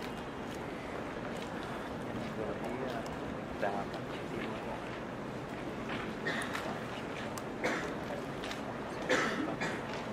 trong sản phẩm để sản phẩm dưới sản phẩm Ờ, một trong hai sản phẩm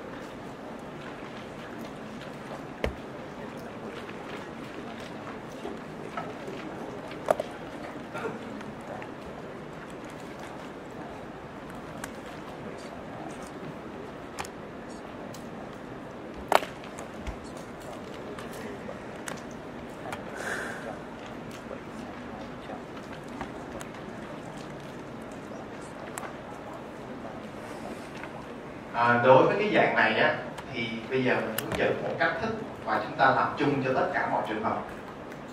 Ha? Bởi vì ờ, chúng ta đọc một cái đề sẽ rất là khó và rối nó sẽ có nhiều trường hợp khác nhau đó. Và sản lượng thay đổi giá bán thay đổi biến phí thay đổi định phí thay đổi giá bán biến phí thay đổi giá bán định phí thay đổi biến phí định phí thay đổi sản lượng biến phí thay đổi sản lượng giá bán thay đổi. Rất là nhiều trường hợp khác nhau. Được không ạ? Nó sẽ ra một cái một loạt tất rất rất nhiều trường hợp khác nhau. Nhưng mà bây giờ chúng ta sẽ, nó hơi dài một chút xíu thôi, nhưng mà sẽ đảm bảo áp dụng được cho tất cả mọi trường hợp. Ha các anh chị sẽ làm theo kiểu này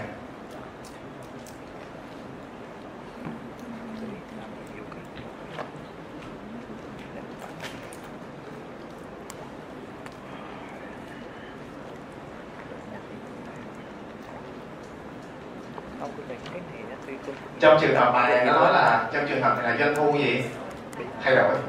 Đúng không? Ạ doanh thu nó thay đổi.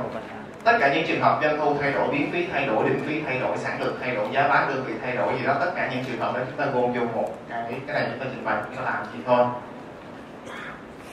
À, các chị cho những tôi thứ nhất là với doanh thu thay đổi đó thì doanh thu dự kiến của chúng ta sẽ là bao nhiêu? Đúng không ạ? Rồi chúng ta sẽ có cái doanh thu hiện tại của chúng ta là bao nhiêu doanh thu hiện tại chúng ta có rồi đúng không trước khi tăng bảy trăm hai mươi Hiểu không ạ? Người ta nói là nếu doanh thu tăng lên thì đó là doanh thu dự dự kiến, hiểu không ạ? Còn có doanh thu hiện tại. Như vậy sau đó chúng ta sẽ có doanh thu tăng tăng thêm. Hiểu không ạ? Doanh thu tăng thì đương nhiên biến phí nó phải gì? Phải tăng. doanh thu tăng thì bắt buộc biến phí phải chạy theo đúng không ạ như vậy chúng ta sẽ có biến phí doanh có doanh thu dự kiến thì sẽ có biến phí. Dự kiến. Đúng không? Rồi, chúng ta sẽ có biến phí hiện tại. Và chúng ta cũng sẽ có biến phí tăng tăng thêm. Đúng không nếu như trong trường hợp đề bài này ta cho định phí thay đổi, thì chúng ta sẽ có định phí dự dự kiến. Rồi, định phí hiện tại. Và chúng ta sẽ có định phí tăng thêm đúng không ạ? Thì sau khi chúng ta có cái này rồi thì chúng ta sẽ có lợi nhuận gì? Có doanh thu dự kiến biến phí dự kiến, định phí dự kiến sẽ ra được lợi nhuận. Giữ, dự kiến. Lợi nhuận hiện tại và lợi nhuận tăng tăng thêm. Được không ạ? Ở đây chúng ta sẽ xác định được lợi nhuận tăng thêm và lợi nhuận tăng thêm chính là lợi nhuận có thay đổi như thế nào trong trường hợp này. Mặt hàng nào mà có lợi nhuận tăng thêm nhiều nhất thì chúng ta sẽ sẽ đánh giá nó là như vậy có nghĩa là cái mặt hàng nó có tỷ lệ lại đến phí nó sao đây? Nó cao. Được không ạ? À. Tại vì tỷ lệ lãi xin lỗi, tức là mặt hàng nào mà có lợi nhuận tăng nhiều nhất, tức là tỷ lệ lãi trên phí nó là gì là thấp nhất đúng không ạ vì nó hiện hiện giờ thì các cái mặt hàng chúng ta đều đạt được ở mức độ doanh thu hòa vốn hết rồi, đúng không ạ doanh thu hòa vốn từ mặt hàng như vậy thì khi cứ tiêu thụ thêm một sản phẩm nữa thì nó lời đúng bằng cái gì đấy? Nó đúng bằng cái phần là doanh thu tăng thêm và nhân với lại cái tỷ lệ số dư đạm gì? Giảm phí? Hay nó sẽ làm đúng bằng cái sản lượng đó và nhân với lại gì? Lãi chi phí đơn vị hay là nhân với lại cái số dư đạm phí đơn đơn vị? Hiểu không ạ? Và cái số dư đạm phí đơn vị nó sẽ tăng cao nhất khi nào mà cái biến phí, cái lãi trên phí nó thấp nhất? Mà lãi trên biến phí đó xin lỗi. À, lợi nhuận tăng nhiều nhất khi mà cái lãi trên biến phí là cao nhất mà lãi trên biến phí mà cao nhất thì trong trường hợp này cái khoảng cách giữa doanh thu doanh thu hay là giá bán đơn vị với giá vốn đơn vị là nói gì? Nó dài nhất. Hiểu không ạ? Rồi chúng ta áp dụng vô trong cái trường hợp này nè. Cái bài này và kể cả cái câu phía dưới. Đúng không ạ? Kể cả cái câu phía dưới chúng ta cũng sẽ áp dụng được cái này luôn.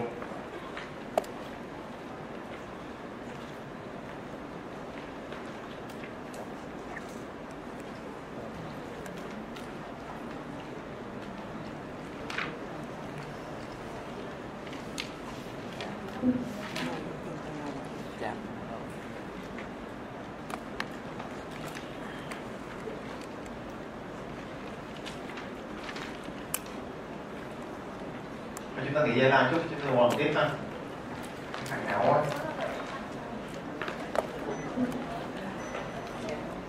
kỳ vậy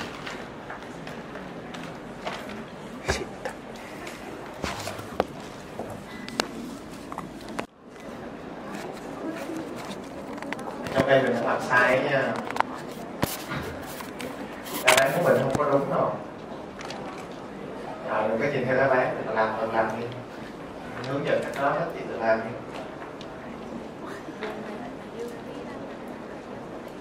mình chưa có học đeo hay là nên thành thử ra mình không hay áp dụng được cái công thức đeo vào trong cái trường hợp này. Buổi sau khi mà mình tiếp cận đến cái đọc bảy thì lúc đó chúng ta quay lại cái này chúng ta làm được ha. Còn bây giờ thì do chúng ta chưa có tiếp cận tới nên chúng ta sẽ làm theo cái cách phổ biến thông thường này thôi.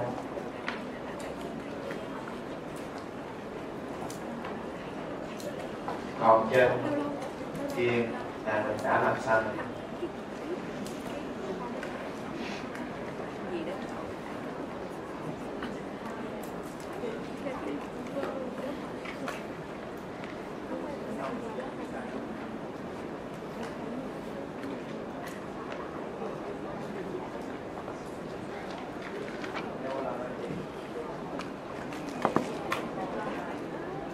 DOL là cái gì? Là phải kinh doanh, tiếng Anh nó là gì? Degrees of operating leverage Hiểu không?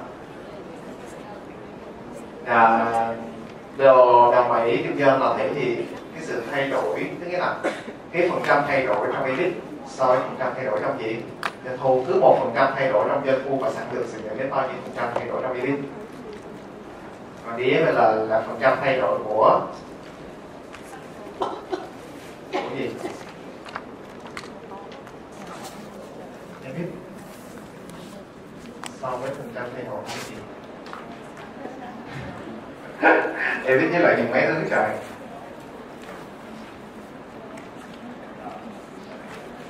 thì em là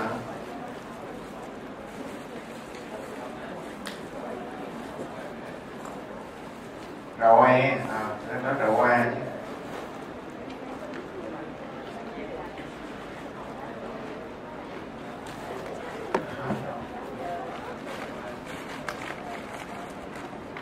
thì nói mình nói mình sai rồi nè ừ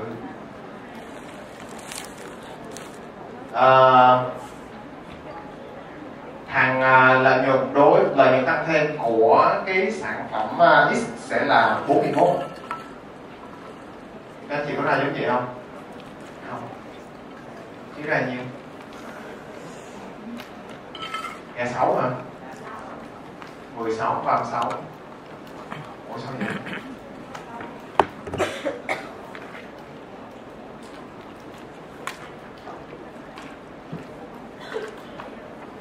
à lợi nhuận à, lợi nhuận tăng thêm à, lợi nhuận mà chúng ta sẽ đạt được là 41 mà lợi nhuận tăng thêm sẽ là 16 25 cộng 16 bằng 41 lợi nhuận dự kiến sẽ là 41 lợi nhuận hiện tại sẽ là 25 và lợi nhuận tăng thêm sẽ là 16 16 đúng rồi thầy. Như một việc à, đúng rồi thầy. Chết rồi bây giờ tôi không biết sao hôm nay. Đúng rồi thầy ơi. Chị làm sao vậy? Lúc mình đang hoảng hết á thời gian quá. Giờ doanh thu dự kiến chúng ta sẽ lấy là doanh thu hiện tại nhân với là nhiêu? Nó sẽ đi ra bộ 120 phần trăm. Biến phí dự kiến lấy biến phí hiện tại nhân cho 120 phần trăm. Của mình. Không?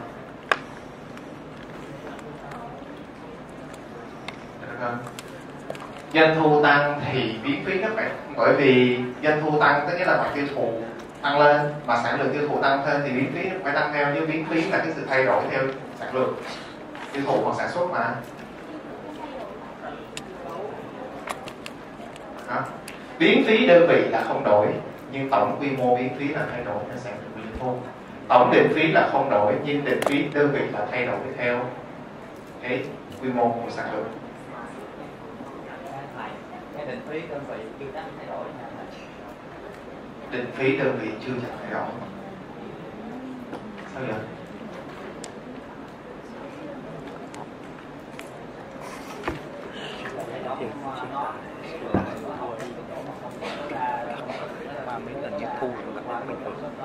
À tức nghĩa là trong trường hợp là định phí nhưng mà nó theo bậc đó, đúng không? Tức nghĩa là khi mà chúng ta vượt qua một bậc nào đó thì nó mới tiến hành thay đổi thêm, cái gì với cái dữ liệu đề bài này là sao?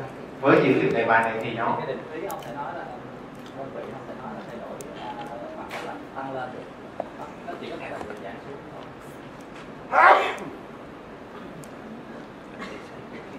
Phí nó không tăng lên. Nó chỉ có thể giảm xuống thôi. Vì sản lượng tăng lên. Thì coi như là số số tuyệt đối không có đổi. Tổng định phí là không đổi. Nhưng định phí đơn vị là thay đổi. Có thể thay đổi bây giờ mình cái cái cái bài này nó đã vượt qua cái điểm hòa vốn rồi. Thì đồng nghĩa với cái chuyện là số biên giảm phí bao nhiêu á là nó phải lãi bấy nhiêu đúng rồi. Nếu vậy á, thì mình sẽ tính ra là là nhiều sản lượng tăng là hai. Vì giờ một sản phẩm sẽ gánh chịu bao nhiêu đồng phí? Có cần mình phải tính vậy nữa.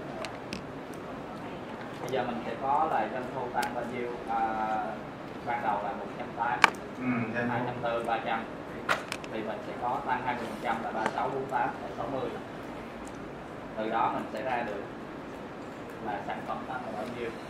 Bởi vì doanh thu mỗi sản phẩm là tăng là mình có. Mình có giá bán. Giá bán không đổi. Giá bán không đổi thì mình sẽ có là 36 thì cái phần trăm thay đổi về mặt sản lượng cũng chính là phần trăm thay đổi của doanh thu á. 36 36 chia cho 18 là mình sẽ ra 2 48 chia cho 30 là sẽ được 1.6 60 chia cho 50 là 1.2 suy ra lợi nhuận tăng số dư giảm phí là mình đã có là tương ứng mỗi sản phẩm là 8 17 và 36 thì mình sẽ nhân lên để ra được lợi nhuận tăng là tương ứng là 16 27 82 và 43 82 có là- 16 lợi nhuận tăng thêm 64% rồi đúng rồi 64 rồi một cái nữa là 35 là 35 không phải ừ thì mình đang làm theo hướng đó. Đó nhưng mà em không đồng ý với chỗ là thầy nói là cái ờ, biến phí của nó đơn vị của nó là biến phí đơn vị là không đổi. Nó không đổi chứ không phải là biến phí đơn vị là không đổi. Ừ nhưng mà tổng quy mô biến phí là thay đổi. Thì cái đó là những rồi tổng định phí là không đổi nhưng định phí đơn vị là thay đổi.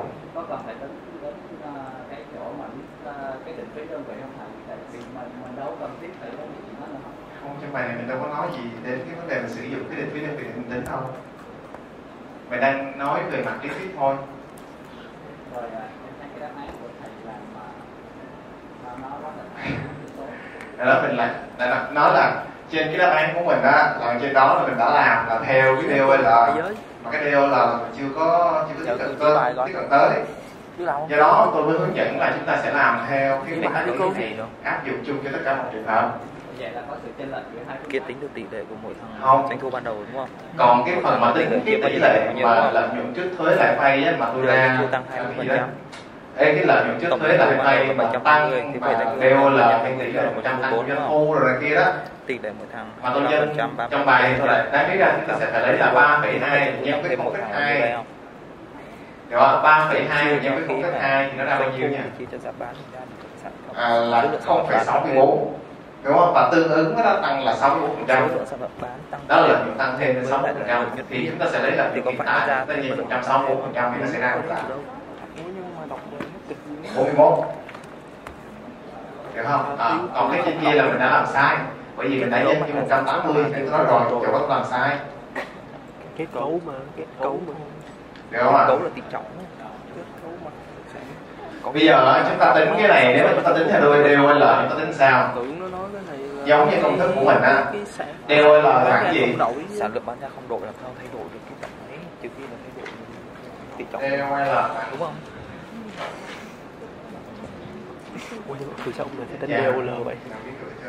à tính DOL tại vì biết đánh để bán để bán thằng nhu cầu nhưng mà bạn mình tham yêu là bao nhiêu thế tính cả DOL bằng là doanh thu trừ đi biến phí.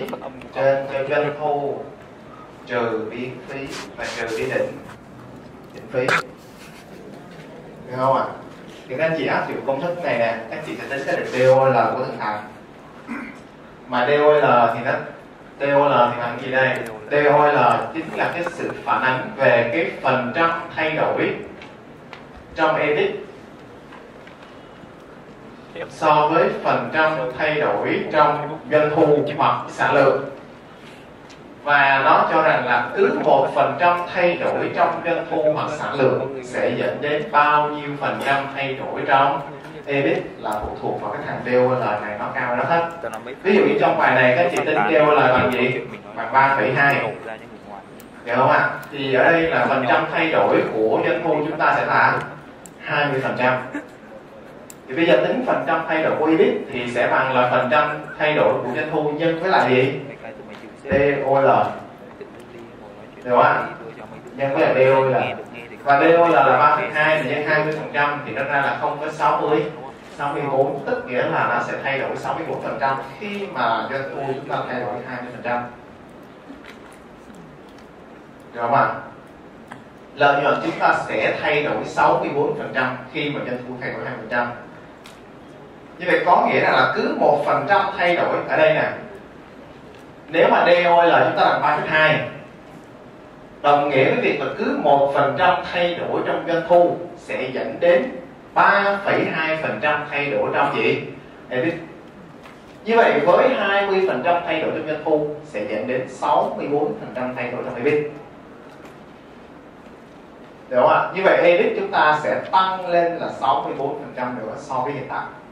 Mà hiện tại chúng ta đang là 25 thì tăng 64% để chúng ta lấy 25 và nhân cho 164% thì nó sẽ ra được là 41. Được không ạ? à? tại vì cái cái công thức này chúng ta chưa có học ở cái phần này mà nó tiếp cận ở phần sau, nên tôi hướng dẫn chúng ta sẽ làm theo cái kiểu truyền thống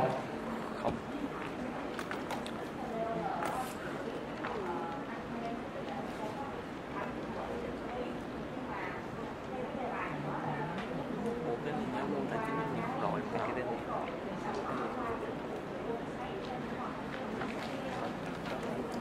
nó tương làm trong cái thứ này cả thôi nhưng mà nó nó đi một vòng vòng đáp án cũng là thì sao không được biến nào sao kết quả không giáo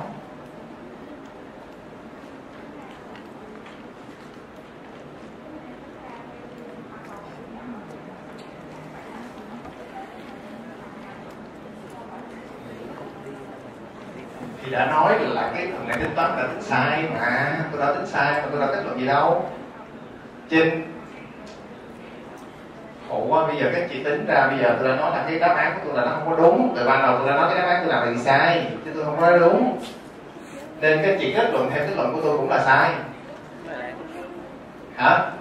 Thì thì các chị tính đi, thì tôi đang hướng dẫn các chị tính thì các chị tính đi. Mai mốt sao hả? Về bài tập sửa chưa? Dạ sửa tại lớp rồi, giờ còn hỏi mai mốt sao nữa. Tôi đang sửa tại lớp cho các chị rồi nè. Gửi file phải không? Bắt mình chỉnh đó phải không? Bắt chỉnh trước mới gửi phải không? Rồi các ơi trong khi nó sửa bài tập nó thiệt nha. Buổi sau các chị có cầm cái bài đáp án của tôi các chị chắc có nhiều khi các chị nó không khỏi coi luôn. Tại vì các chị đọc lý thuyết xong các chị mở ra cái tập các chị ghi các chị thuộc hết trơn rồi. Hiểu hết trơn rồi. Các chị còn cầm đáp án cái coi là cái chuyện này. Khó lắm đấy. chị mới phải, phải coi lại thôi thì tôi đó nhiều khi những cái tôi đưa đó chị nó thừa quá. Rồi bây giờ các chị tính đi. Bây giờ áp dụng theo cái cách thức này nè tính theo cái này nè. Chưa học DOL thì chúng ta sẽ không có cần phải tính theo DOL đâu chúng ta sẽ áp dụng theo cái truyền thống để chúng ta tính. Đó, cái này là nó sẽ áp dụng cho tất cả mọi trường hợp còn DOL không phải trường hợp nào cũng làm được. Nếu như trong trường hợp nó cho thay đổi về định phí hoặc nó cho thay đổi cái khác là DOL sẽ không áp dụng được thì tôi muốn ở đây là chúng ta sẽ có một cái nền tổng quan về nó trước, rồi chúng ta hãy đến tiếp cận những cái phần nó sâu hơn.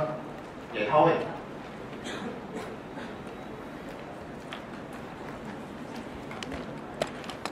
trùng về hả biển đó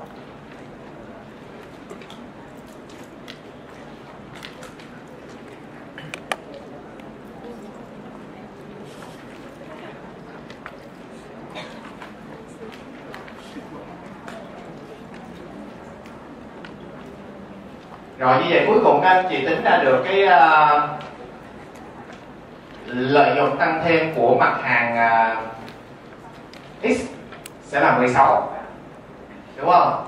Rồi lợi nhuận tăng thêm của mặt hàng y là bao nhiêu? 27 ngàn 200 27,2 rồi lợi nhuận tăng thêm của mặt hàng. Rồi bây giờ mà muốn mà làm theo đáp án của tôi đúng không? Thì bây giờ chúng ta chỉ cần bỏ này đi nè. Bỏ số này đi nè. Đó.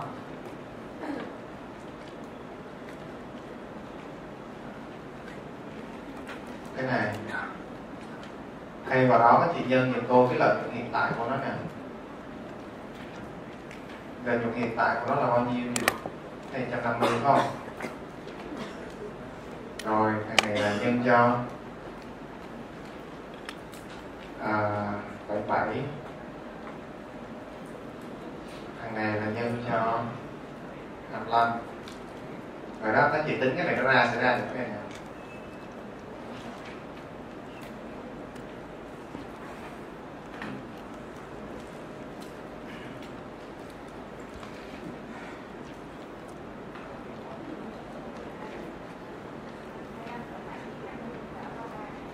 Hả? đi đi đi một điểm cái số thấp 25,7 nhưng mà sử dụng một trong con số lợi nhuận trước thuế lãi vay lấy nè lấy lại trên biến phí trừ đi định phí thì ra lợi nhuận lấy doanh thu trừ biến phí. Trừ định phí ra lợi nhuận phải đang 180 trừ 100 thì trừ tiền phí thấp lên. ra lợi nhuận tiếp. Này ba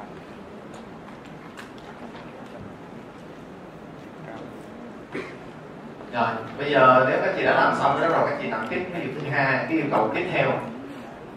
Được này được này chị đến làm cho con.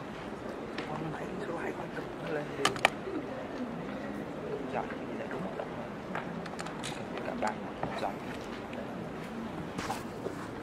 cũng tuyên bố cuộc đời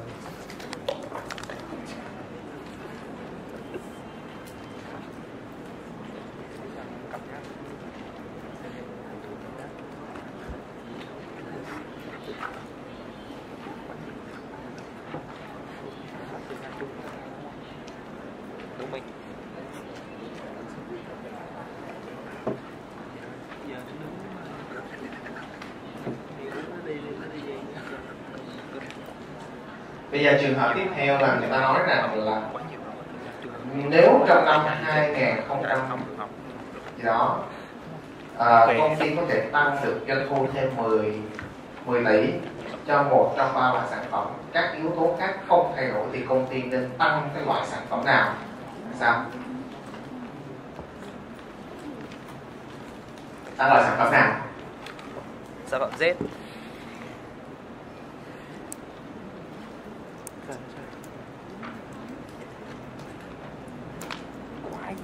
nên tăng sản phẩm gì? Lợi biên phẩm. lớn nhất. sản phẩm Z. Lợi nhuận biên lớn nhất nữa. Rồi lợi dụng biên bởi vì lợi của nó là tăng nhiều nhất đúng không? Tao không làm được hai tao không biết. Thì thế tao mới nói mày chỉ nên làm một trong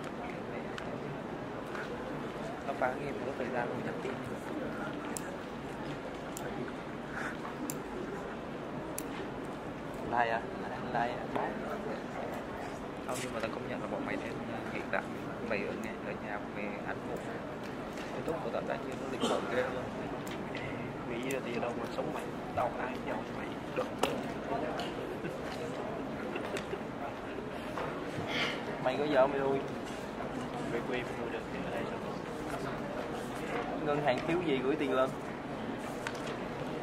Đây, đưa đây. Nói anh minh thiếu tiền là chuyện gấp 10 chai. Kịp điện thoại hậu phương trả lời. Không trai đi xin tiền xin gì đó. Bình thường vì hạnh phúc chung rồi, về nguyên tắc chúng ta muốn tăng cái mặt hàng nào thì chúng ta, tại vì bây giờ cái sản phẩm chúng ta là hiện giờ với mức tiêu thụ hiện tại thì đã đạt mức độ gì? Hòa vốn rồi. Do đó, bây giờ cứ một cái sản phẩm tiêu thụ mà chúng ta tăng thêm sẽ tăng đúng bằng cái cái cái cái cái chi phí đơn vị và nhân với lại cái sản lượng đó, đúng không? Do đó chúng ta, về nguyên tắc là chúng ta sẽ phải lựa chọn cái hàng nào mà có gì đây? Cái lãi trên phí phí hay là cái số dư nợ phí, chúng ta là cao cao nhất để khi một sản phẩm tăng lên như vậy thì nó sẽ làm tăng được cho thằng lợi nhuận lên cao cao nhất. Thì hơn thì trong đây chúng ta sẽ thấy rằng có mặt hàng nào là cái lãi trên phí nó cao nhất? Mặt hàng Z và như vậy chúng ta sẽ chọn được cái mặt hàng Z. Bởi vì mặt hàng này là lãi trên phí phí cao nhất. Ờ, vì hiện tại chúng ta đã đáp đã bù đắp được cái cái định phí cho từng bộ phận rồi ha. Do đó cứ một sản phẩm tăng lên sẽ đúng tăng bằng cái gì đấy cái biến phí cái lãi số dư nợ phí đơn vị và như vậy thì chúng ta sẽ ưu tiên chọn lựa cái hàng nào có số dư nợ phí đơn vị là cao nhất. Để khi mà chúng ta tăng một sản phẩm thì cái lợi nhuận chúng ta sẽ tăng tối. Tối đa. Trong sách ghi rõ. Thôi. Định phí là cái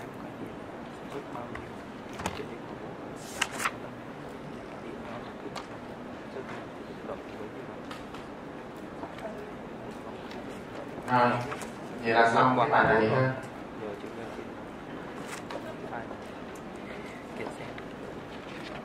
tổng doanh thu hòa vốn của mình là 720 tổng doanh thu hòa vốn của mình là 300 trong khi tổng doanh thu là 720 và mình lại trên cái mức hòa vốn này nên cứ một đồng tham gia cái này nó là một đồng doanh thu về thì nhân với tỷ lệ à nó con hai phải không? Rồi. Về nguyên tắc chúng ta chúng ta thấy rằng là hiện tại thì rõ ràng rằng là với cái kết cấu vi khủng ở hiện tại thì chúng ta đều có lợi nhuận từ các mặt hàng. Đúng không? Và như vậy có nghĩa là phí của các mặt hàng đó đã bù đắp hết rồi. Nếu bây giờ một sản phẩm tăng thêm nữa, thì bây giờ bạn có cần phải bù đắp thêm phí cho nó nữa không? Không cần. Như vậy, nếu bạn bán một sản phẩm tặng thêm, thì bạn sẽ lời đúng bằng cái số dư đã phí đơn vị đúng chưa? Tức là lời đúng bằng cái lãi chi phí đúng không? Vậy thì bây giờ với bây giờ bạn chỉ được phép chọn lựa một trong ba. tức nghĩa là bây giờ bạn bây giờ ta cho phép bạn tăng doanh thu 10 ngàn 10 triệu tỷ đồng ở các bộ phận đó. Ở một trong ba bộ phận này. Là- thì bây giờ theo bạn là sẽ chọn lựa bộ phận nào? Thì chúng ta sẽ chọn lựa cái bộ phận nào mà có cái lãi? Phí. Trên cái phí nó sẽ đây. Chào nhé để khi bạn gia tăng cái một đơn vị đó thì nó sẽ làm tối đa hóa cái lợi nhuận của doanh nghiệp tại vì lợi nhuận nó sẽ tăng đúng bằng cái thằng lãi phí đi đâu rồi lợi nhuận viên của từng đối với một đơn vị sản phẩm viên của từng tháng. Của từng tháng. Nhân với tỷ trọng của nó. Tỷ trọng doanh thu của nó. Tổng Câu của hai. điểm hiện tại tỷ trọng là bao nhiêu? Rồi. Yeah. ok ha cũng là sao? Bây giờ câu hai sao bạn nói chung là đây là dụng biên rồi. Doanh thu 20 phần trăm nó là sao? chính xác nó sao chứ còn đi theo cái hướng mà công thức mà lấy mà ờ, doanh thu trừ chi phí biên cho doanh thu là lấy cái lợi nhuận biên nhưng tỷ trọng. Thì ra cái doanh thu hòa vốn đi theo cái bước này này tức là kiện từ doanh thu của từng sản phẩm mà được lấy cái lợi nhuận biên nhưng tỷ trọng là cái gì? Thì ra tức là lợi nhuận biên nhân với tỷ trọng cộng ba lại thì nó chính là mức trung bình. Về lợi biên của tổng thì ra được đó rằng thì ra được đó xong thì như vậy. Chi phí cố định chia cho nó thì thành bốn. Không không không không không không với cái câu hỏi này nó không có yêu cầu làm vậy với cái câu hỏi số 2 người ta không có yêu cầu chúng ta giải thích trên cơ sở của tỷ lệ chia động phí này hay là cái chia động phí này. Thành hình như vậy. Ạ với cái yêu cầu số 2 thì nói là khi mà doanh thu đồng loạt tăng lên ở tất cả các mặt hàng và giữ nguyên cái kết cấu tiêu thụ của từng mặt hàng đó, thì lợi nhuận chúng ta sẽ thay đổi như thế nào đối với các mặt hàng này? Như vậy người ta sẽ hỏi đồng thời là cả ba cái mặt hàng nó sẽ thay đổi như thế nào. câu kết luận của chúng ta là lợi nhuận nó sẽ được thay đổi như thế nào tăng thêm bao nhiêu nhiêu nhiêu trên mặt hàng. Được hòa vốn đây thì kiểu biết là đúng không? Đúng không? À, còn cái câu này là người ta nói bây giờ cho bạn một chọn lựa. Cái này tức là g trừ để bạn tăng 10 triệu tỷ đồng này vào trong trong một trong ba loại đó thì bây giờ bạn sẽ chọn lựa cái nào? Lại trên miễn phí. Cái câu hỏi người ta khác. Thì khi mình chọn lựa cái nào thì mình phải chọn lựa cái đó là bởi vì cái lại chi phí của nó là cao nhất đúng rồi. Thì Lại- lại- v ok. Thì đấy à. Cái này lãi đúng rồi đúng rồi. Đúng rồi đúng rồi đúng rồi. Cái này thì công nó tính trung bình. Rồi thì tỷ lệ lãi trên miễn phí thì cũng chi phí cố định chia lại thì mục đích của mình khi nhiều sản phẩm là mình phải tính tỷ lệ lãi trên miễn phí cho toàn bộ cả sản phẩm đó. Thì tức là bằng tỷ lệ lãi trên miễn phí rồi bây giờ chúng ta sẽ qua một phần tiếp theo nữa. Đó là phân tích hiệu quả sử dụng vốn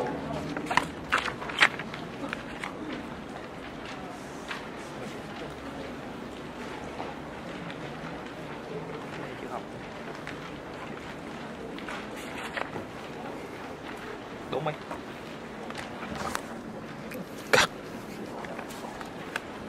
Rồi, đây là cái phần mà chúng ta sẽ phân tích về cái báo cáo kết quả hoạt động kinh doanh. Khi nói về phân tích về hiệu quả sử dụng vốn, tức nghĩa là người ta sẽ đề cập đến cái báo cáo kinh doanh này. Bởi vì trong báo cáo kinh doanh là thể hiện cái hiệu quả của kinh doanh, đúng không? Đó là hiệu quả hoạt kinh doanh nhưng mà bây giờ người ta nói hiệu quả sử dụng vốn. Như vậy thì nó sẽ kết hợp một cái yếu tố đầu ra trên báo cáo động kinh doanh và một cái yếu tố đầu vào trên bảng cân đối kế toán bởi vì bảng cân đối kế toán nó thể hiện cái vốn của doanh nghiệp đó rồi cái vốn này được sử dụng hiệu quả như thế nào thì nó được thể hiện thông qua cái kết quả của hoạt động kinh doanh. Do đó khi mà phân tích về hiệu quả sử dụng vốn chúng ta sẽ có một chỉ tiêu thuộc về hoạt động kinh doanh và một chỉ tiêu thuộc về bảng cân đối kế toán nằm trong cái việc phân tích này. Rồi à, về phân tích hiệu quả sử dụng vốn chúng ta sẽ phân tích ở cả ba vấn đề thứ nhất là phân tích về hiệu suất sử dụng vốn, thứ hai là phân tích về khả năng sinh lời của vốn và phân tích thứ ba là suất hao phí hay là mức độ hao phí của vốn. Đúng không ạ? Rồi. Thứ nhất là phân tích về hiệu suất sử dụng vốn.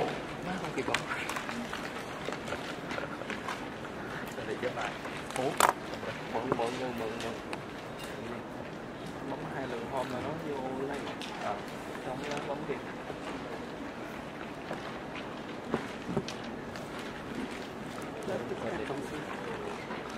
rồi hiệu suất sử dụng vốn. Thì vốn chúng ta có vốn ngắn hạn và vốn dài hạn. Trong đây chúng ta sẽ phân tích về hiệu suất sử dụng vốn ngắn hạn. À, bao gồm có số đầu tư ngắn hạn và số một quan của tài sản ngắn hạn. Hệ số đầu tư ngắn hạn thì tên viết tắt của nó là HD và hệ số à, và số một quan của tài sản ngắn hạn thì người ta sẽ ghi là STNG đó. Viết chữ ra thì nó dài quá thì thôi bây giờ người ta sẽ viết tắt nó bằng ký hiệu ha chúng ta sẽ có rất là nhiều ký hiệu ở đây rồi đầu tiên chúng ta sẽ xác định về chỉ tiêu phân tích đối tượng phân tích và mức độ ảnh hưởng của nhân tố à, và đánh giá hiệu suất sử dụng nhân. Cái tất cả những cái trường hợp mà có các nhân tố này này thì nó sẽ cái phương pháp mà chúng ta phân tích trong trường hợp này sẽ là phương pháp so sánh kết hợp với phương pháp phân tích gì? Nhân tố. Đúng không ạ?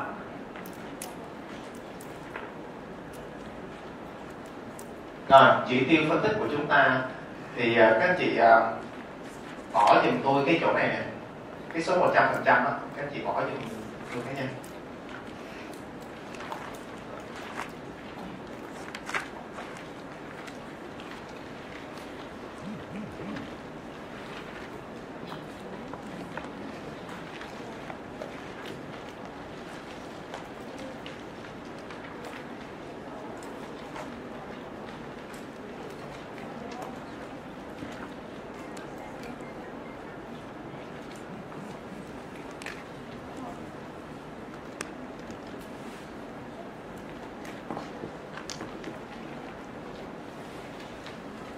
rồi thì à, hiệu suất sử dụng vốn kinh doanh bao gồm là hiệu suất sử dụng vốn kinh doanh người ta sẽ gọi chung là HSKD hiệu suất sử dụng vốn kinh doanh hay còn gọi là vòng quay của vốn á hiệu suất là tính đến số vòng quay hiệu quả là tính đến cái hiệu sinh lời là tính cho ROA, ROE, ROS á.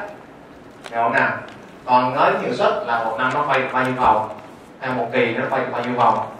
Thì nếu mà tính số vòng thì trên tử số sẽ là doanh thu hoặc là luân chuyển thuần chia cho ở dưới sẽ là tài sản ngắn hạn bình quân à, tài sản ngắn hạn bình quân hoặc là tổng tài sản bình quân. Được không nào? Thì cái đó là dùng để đo lường về cái hiệu suất sử dụng vốn. Thì hiệu suất sử dụng vốn thì sẽ bằng tổng luân chuyển thuần và chia cho tổng tài sản bình quân SKD là tài sản bình quân.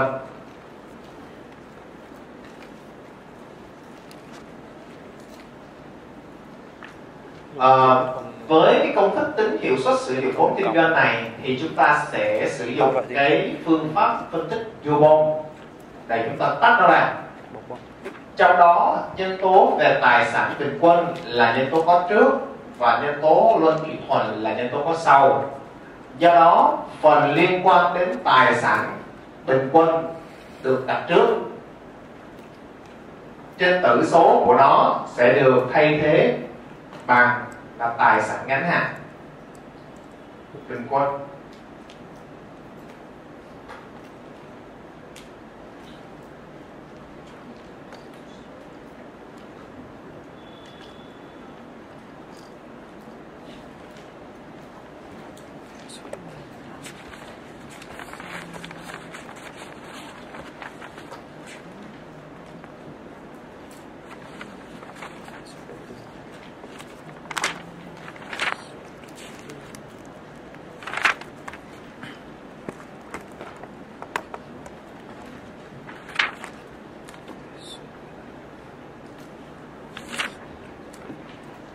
hiệu suất sử dụng vốn kinh doanh HSKD bằng tổng của luân chuyển thuần chia cho tài sản ngắn hạn đây, tài sản bình quân thì tài sản người ta ký hiệu là chữ S à, và hiệu suất sử dụng vốn kinh doanh thì S này là S kinh doanh là vốn kinh doanh của mình á.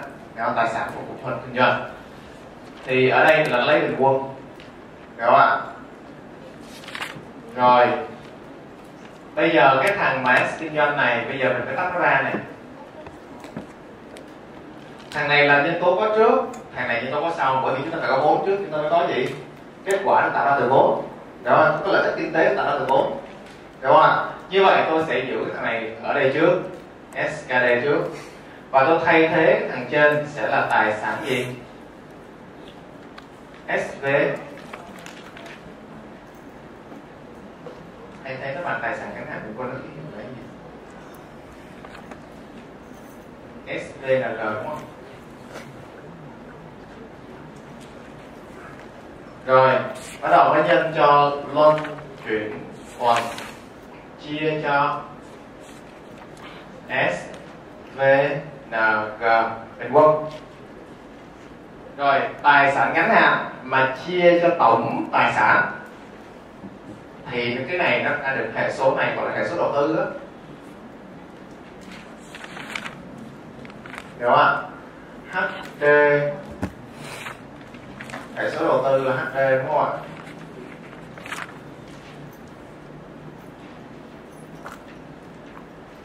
Rồi còn luân chuyển thuần mà chia cho tài sản ngắn hạn bình quân thì nó ra là số vòng quay của nó là ủa hình như mình đặt lộn cái gì rồi đúng không?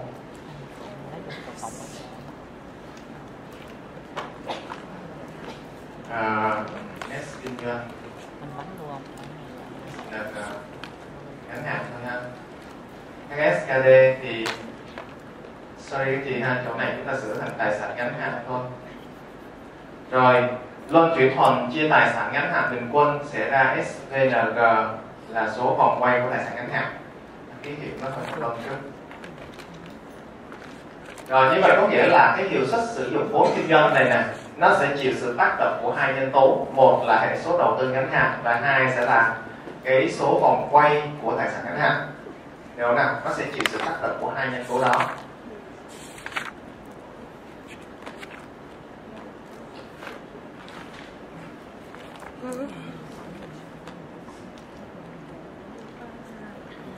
Rồi, nếu mà chịu sự tác động của hai nhân tố đó, thì trong trường hợp này chúng ta đã thay thế, thì chúng ta phải thay thế nhân tố trước là HD và nhân tố sau sẽ là nhân tố gì?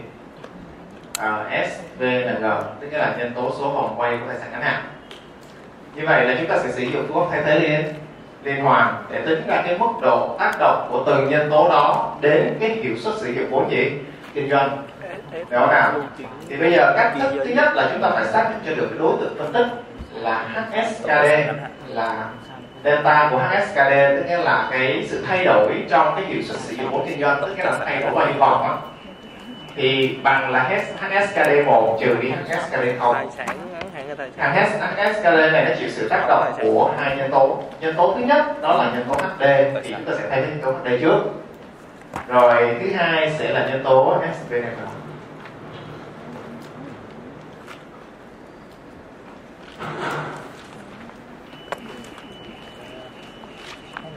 quá. Phải chịu bao giờ? Ký hiệu của ta vậy đó nhiều khi mỗi năm đăng ký hiệu mỗi khác trời nên tôi chạy theo cũng mệt luôn. Năm trước họ ký hiệu khác, cái năm nay cái họ ký hiệu khác từ năm trước nó lấy dân phụ thuận cái năm sau nó lấy luân chuyển thuận không thích năm sau lấy luân chuyển thuận cái lại quay lại lấy lương dân phụ thuận nhiều khi công thức mình chỉnh mà nó phải sót là bởi vì bộ tài chính nó thay đổi liên tục vậy đó. Mình đọc không hết, cái đó còn là thấy nó tự thần giống như thế nào. Rồi chưa? Rồi. Nếu mà vậy thì chúng ta sẽ bỏ nó vào trong cái bảng giống như này hiểu không chúng ta sẽ bỏ nó vào trong cái bảng. Tính xác định mức độ ảnh hưởng của nhân tố. Giống như trong trường hợp của chúng ta xác định mức độ ảnh hưởng của nhân tố à, là nguồn vốn dài hạn với tài sản dài hạn ảnh hưởng đến vốn luôn luân chuyển á. Hiểu không ạ. Được chưa? Rồi bây giờ chúng ta làm thử đi. Tính một lần thử đi. Tại vì không nhớ công thức đâu. Vậy chúng ta làm thử đi rồi chúng ta sẽ nhớ được công thức làm xong cái này thì chúng ta phân tích xong thì chúng ta sẽ nghĩ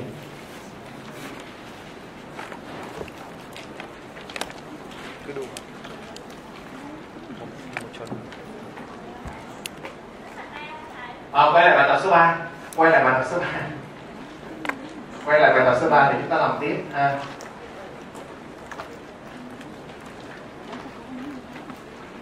này không bạn. Hả? Quay về đi cái gì cũng bắt mình làm hết trơn á, trời ơi, trời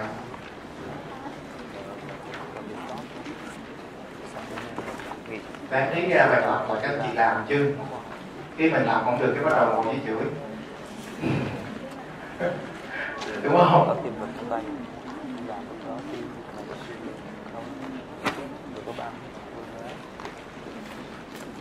Ờ.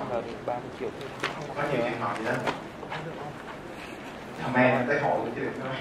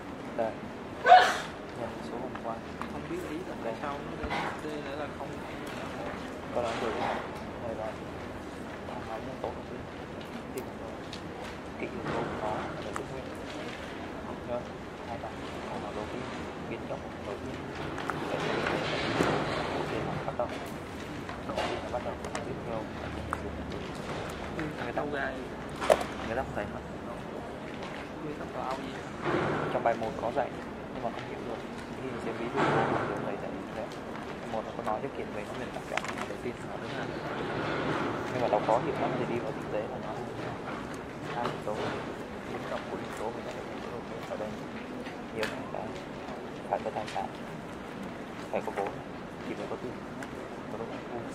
Như vậy cái thằng tổng tài sản này nó chịu ảnh hưởng của cái vòng quay hệ số của thằng này theo công thức nên nó là thằng đầu tiên số bằng ai ai ưu tiên tài sản phải được ưu tiên trước. Bạn nó lúc nào được ưu tiên trước. Nó được ưu tiên trước. Nên hệ số liên quan đến nó hệ số được ưu tiên trước. Vì nó được ưu tiên trước nên biến động của nó sẽ là bao nhiêu là nhân lý bằng gốc này, cũng có số 3 năm thì sao, mình lấy số bình quân được. Sao không có số 353 bởi cái bạn kia, nó có cái số năm trước nữa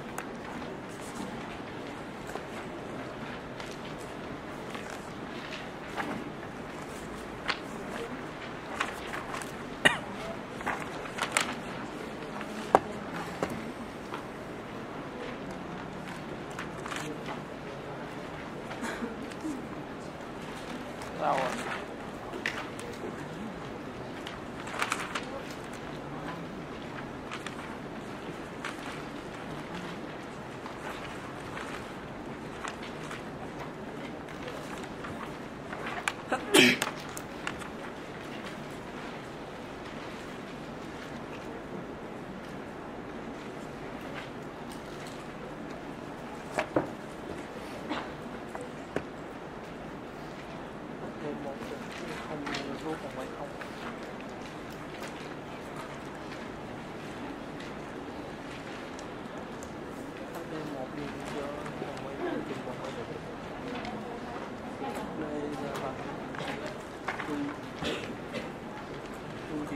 chia tài sản có hạn không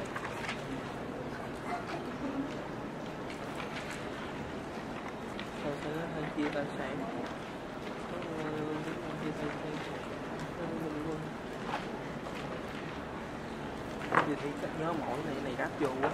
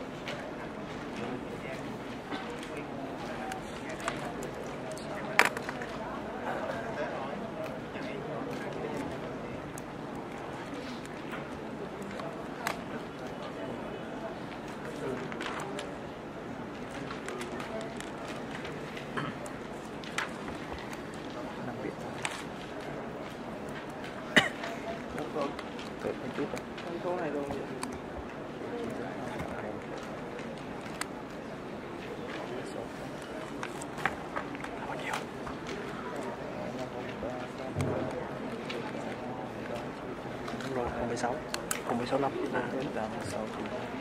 1086 à. Đừng có lần đầu tiên tôi tính đưa giống cương sáu. Xạo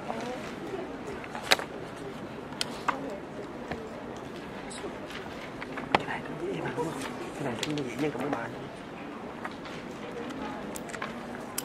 Cái này tính từ bài đầu tiên rồi từ cái bạn đầu tiên là mình đã tính rồi. Vì ta phải nghiên cứu lại cái phần ấy nhiều phần rộng thấy ớn nhất là những cái chỗ ví dụ như nó có lưu ý á. Ví dụ như nợ phải trả này phải loại cái phần nợ vay này. Hoặc là lưu chuyển tiền tệ này phải, phải loại giá thẳng dương âm gì đó. Lại mà nhớ công thức cũng được mà. Nhớ công thức cũng khó mà. Với lại cái thứ hai là nhớ ký hiệu. Ví dụ không cần cũng được. Môn này phải ký hiệu mà môn tài chính đâu với a môn à, môn gì ông ông dạy đâu ghi môn tài chính đâu ghi môn này. môn bên kia không? Ấy nhưng mà môn này như cái này này nhưng mày đặt công thức này rồi mày phải nhớ nè. Sao mà nhớ được? Chắc chắn là không nhớ. Hiểu bản chất cái chứ sao bắt mình nhớ hết. Được rồi nào mà nhớ đúng được. Đâu nó giống môn tài chính thôi nên nào bắt mình nhớ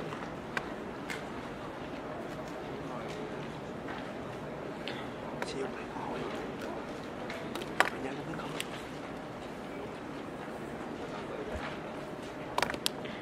Ê, mày mà cho mình được mấy cái mà hướng dẫn chấm thi với mày nhanh mày cho được mấy cái hướng dẫn chấm thi với mày thì ngon học lấy kiến thức chứ không học lý mình mình mình có đáp án chuẩn luôn. kiện nói rồi học được cái kiến thức nói chuyện chuyện nói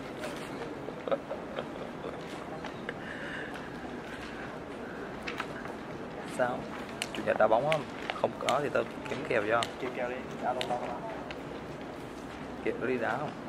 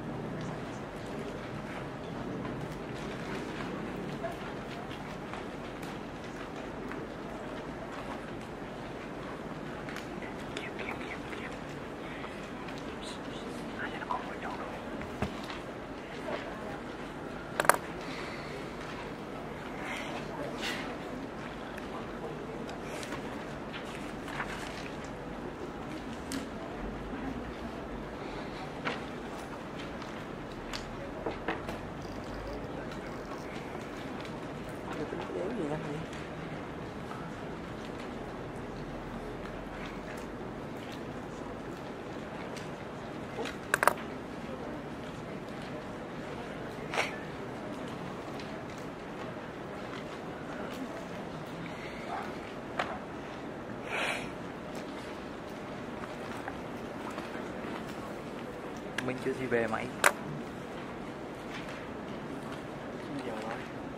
Anh em nhật chí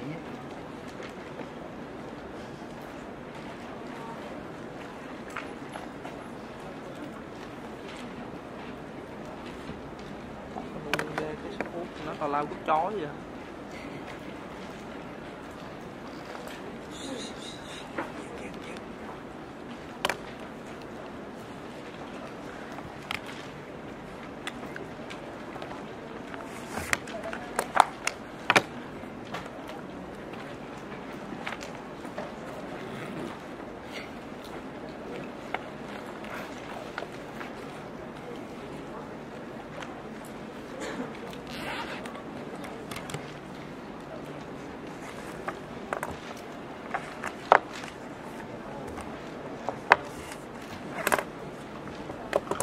Ra nhiêu vậy?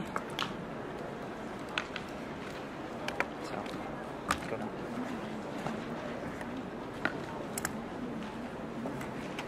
đúng không sáu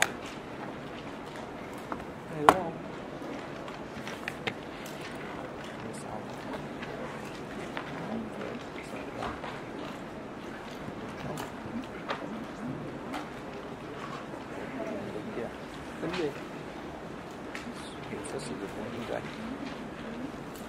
không tính lên ta hắt để tính cái này hả đúng rồi không chọn số đó phân tích nữa phân tích nữa hiện giờ phân tích nữa chọn rồi này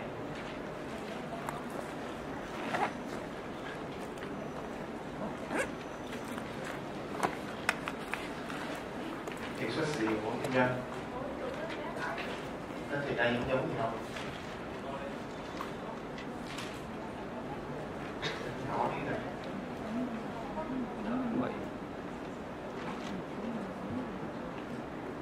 khác khác ta sao khác? Là một cái một số từ dụng vốn cái tranh ra thì cho khác gì sai rồi thầy ơi. Sai thầy.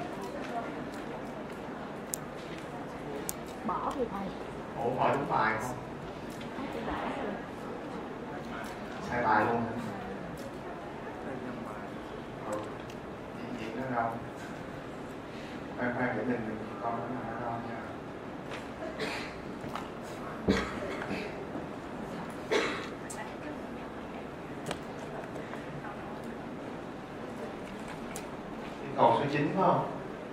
sáu bảy. Bảy tám.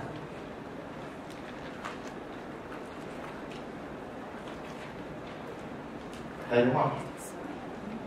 Đúng không? 6 Đúng rồi, đúng rồi, đúng rồi. À, một đúng rồi. Đúng rồi. Hai lần đầu tiên ta, ta, ta, học môn này ta làm được bài chứ mày.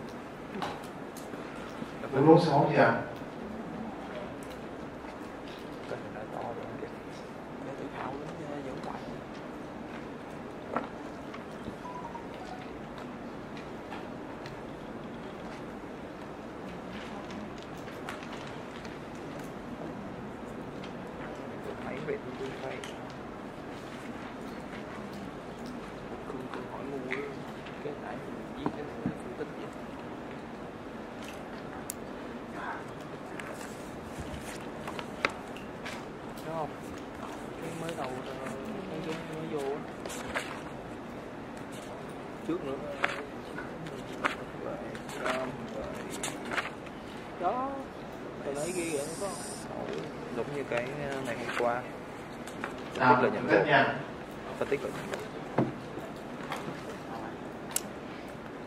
Đúng rồi đúng không?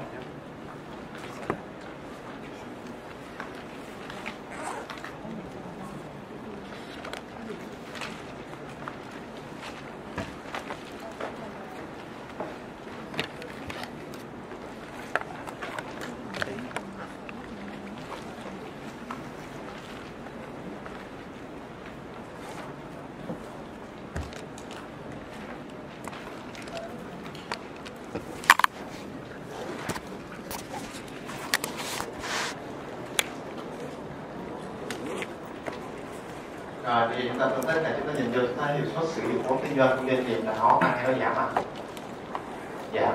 Đúng không? Nhận xét đầu tiên. Hiệu suất sử dụng vốn kinh doanh của doanh nghiệp giảm năm nay so với năm trước.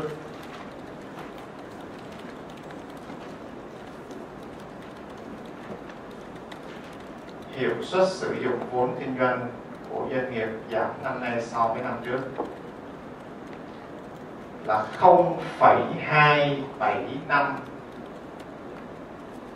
cái gì? 0,2 à 0,275 vòng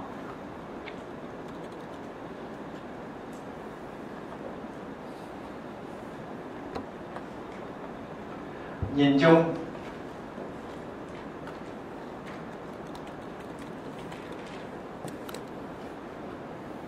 tài sản của doanh nghiệp. Nhìn chung thì tài sản của doanh nghiệp.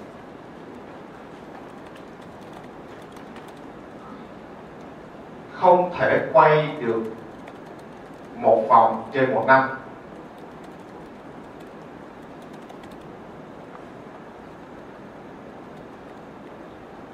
Qua 2 năm n trừ 1 và 50 năm qua 2 năm n trừ 1 và 50 năm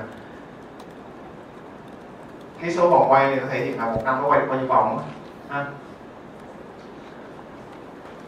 Nếu một năm mà nó quay không được một vòng thì sẽ sử dụng vốn không hiệu quả tức nghĩa là chúng ta sẽ luôn luôn trong tình trạng bị thiếu một gì? Thiếu một. Vốn đó. doanh nghiệp luôn luôn nằm trong giai nằm trong cái tình trạng là bị thiếu gì? Thiếu vốn để bổ sung cho bạn kinh doanh. Quay chỉ được một vòng ha. Và doanh nghiệp luôn nằm trong cái tình trạng thiếu vốn giờ nó thiếu vốn thì chúng ta phải làm sao? À, bổ sung nguồn tài trợ cho nó đúng không ạ? Và bắt buộc doanh nghiệp phải tăng cường cái hoạt động gì? Huy động đúng không? Và bắt buộc doanh nghiệp phải tăng cường cái huy động vốn thông qua đi vay và huy động từ vốn chủ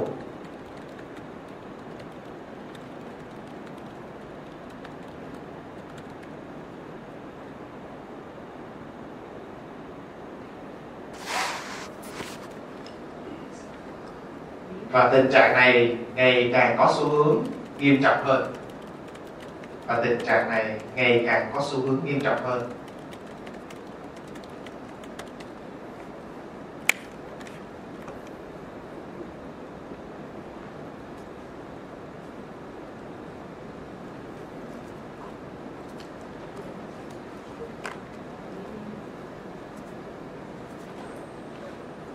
Nếu doanh nghiệp sử dụng không hiệu quả số vốn này,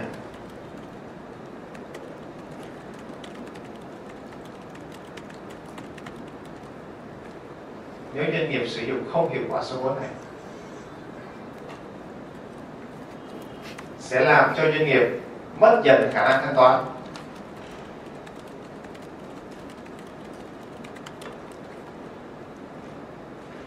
Mất dần khả năng thanh toán và rủi ro tài chính sẽ rất cao.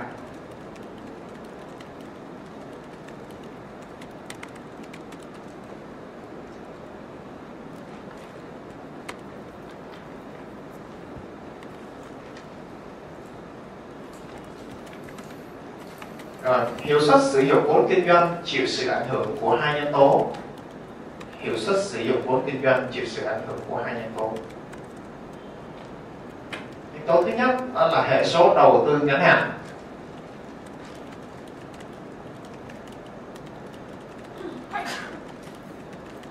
Nhân tố thứ nhất là hệ số đầu tư ngắn hạn. Qua 2 năm có sự thay đổi không đáng kể. Qua 2 năm có sự thay đổi không đáng kể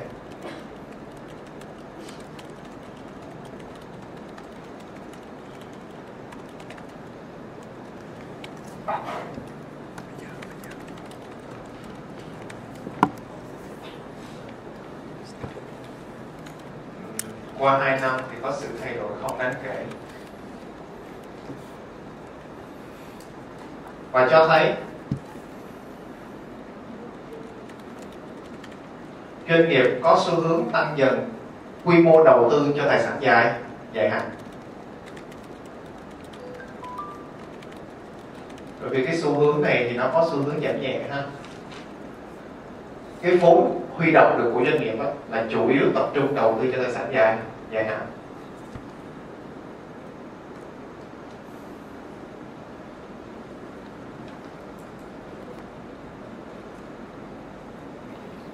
Nhân tố thứ hai đó là hệ số, hiệu suất sử dụng vốn kinh doanh chịu sự ảnh hưởng của nhân tố. Vòng quay của tài sản ngắn hạn.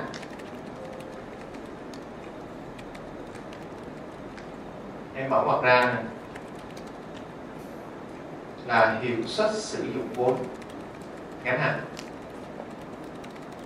Hay là hiệu suất sử dụng vốn ngắn hạn?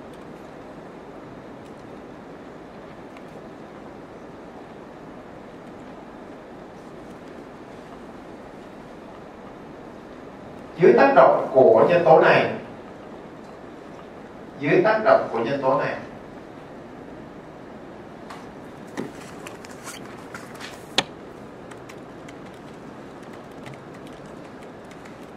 Đã làm hiệu suất sử dụng vốn kinh doanh của doanh nghiệp giảm.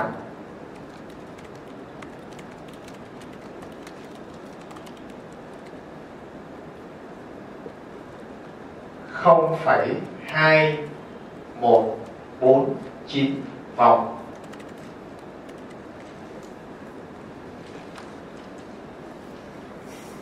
nhân tố này được xem là nhân tố chủ yếu tác động đến hiệu suất sử dụng vốn kinh doanh của toàn bộ doanh nghiệp. Nhân tố này được xem là nhân tố chủ yếu tác động đến hiệu quả sử, hiệu suất sử dụng vốn kinh doanh của toàn bộ doanh nghiệp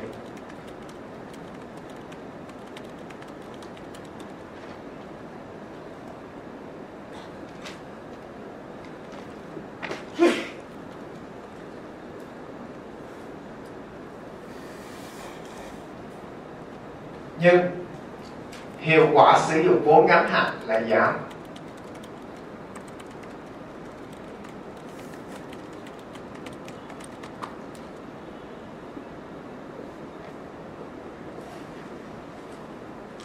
Đồng thời trong 5N đồng thời trong 5N thì số vòng quay của tài sản ngắn hạn là nhỏ hơn một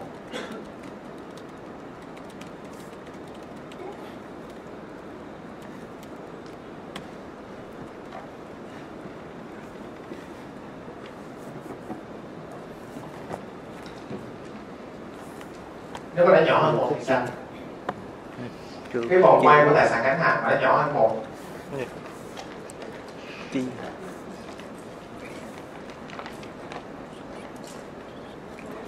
Thể hiện sự lãng phí trong vốn ngắn hạn.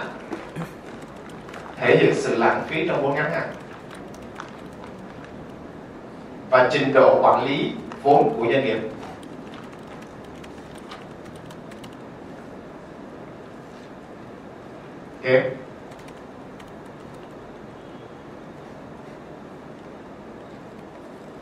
do đó doanh nghiệp cần tập trung cải thiện.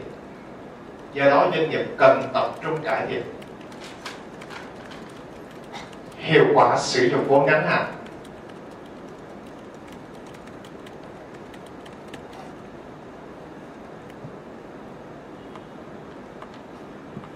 Đặc biệt, trong quản trị vốn bằng tiền, quản trị hàng tồn kho và quản trị nợ phải thu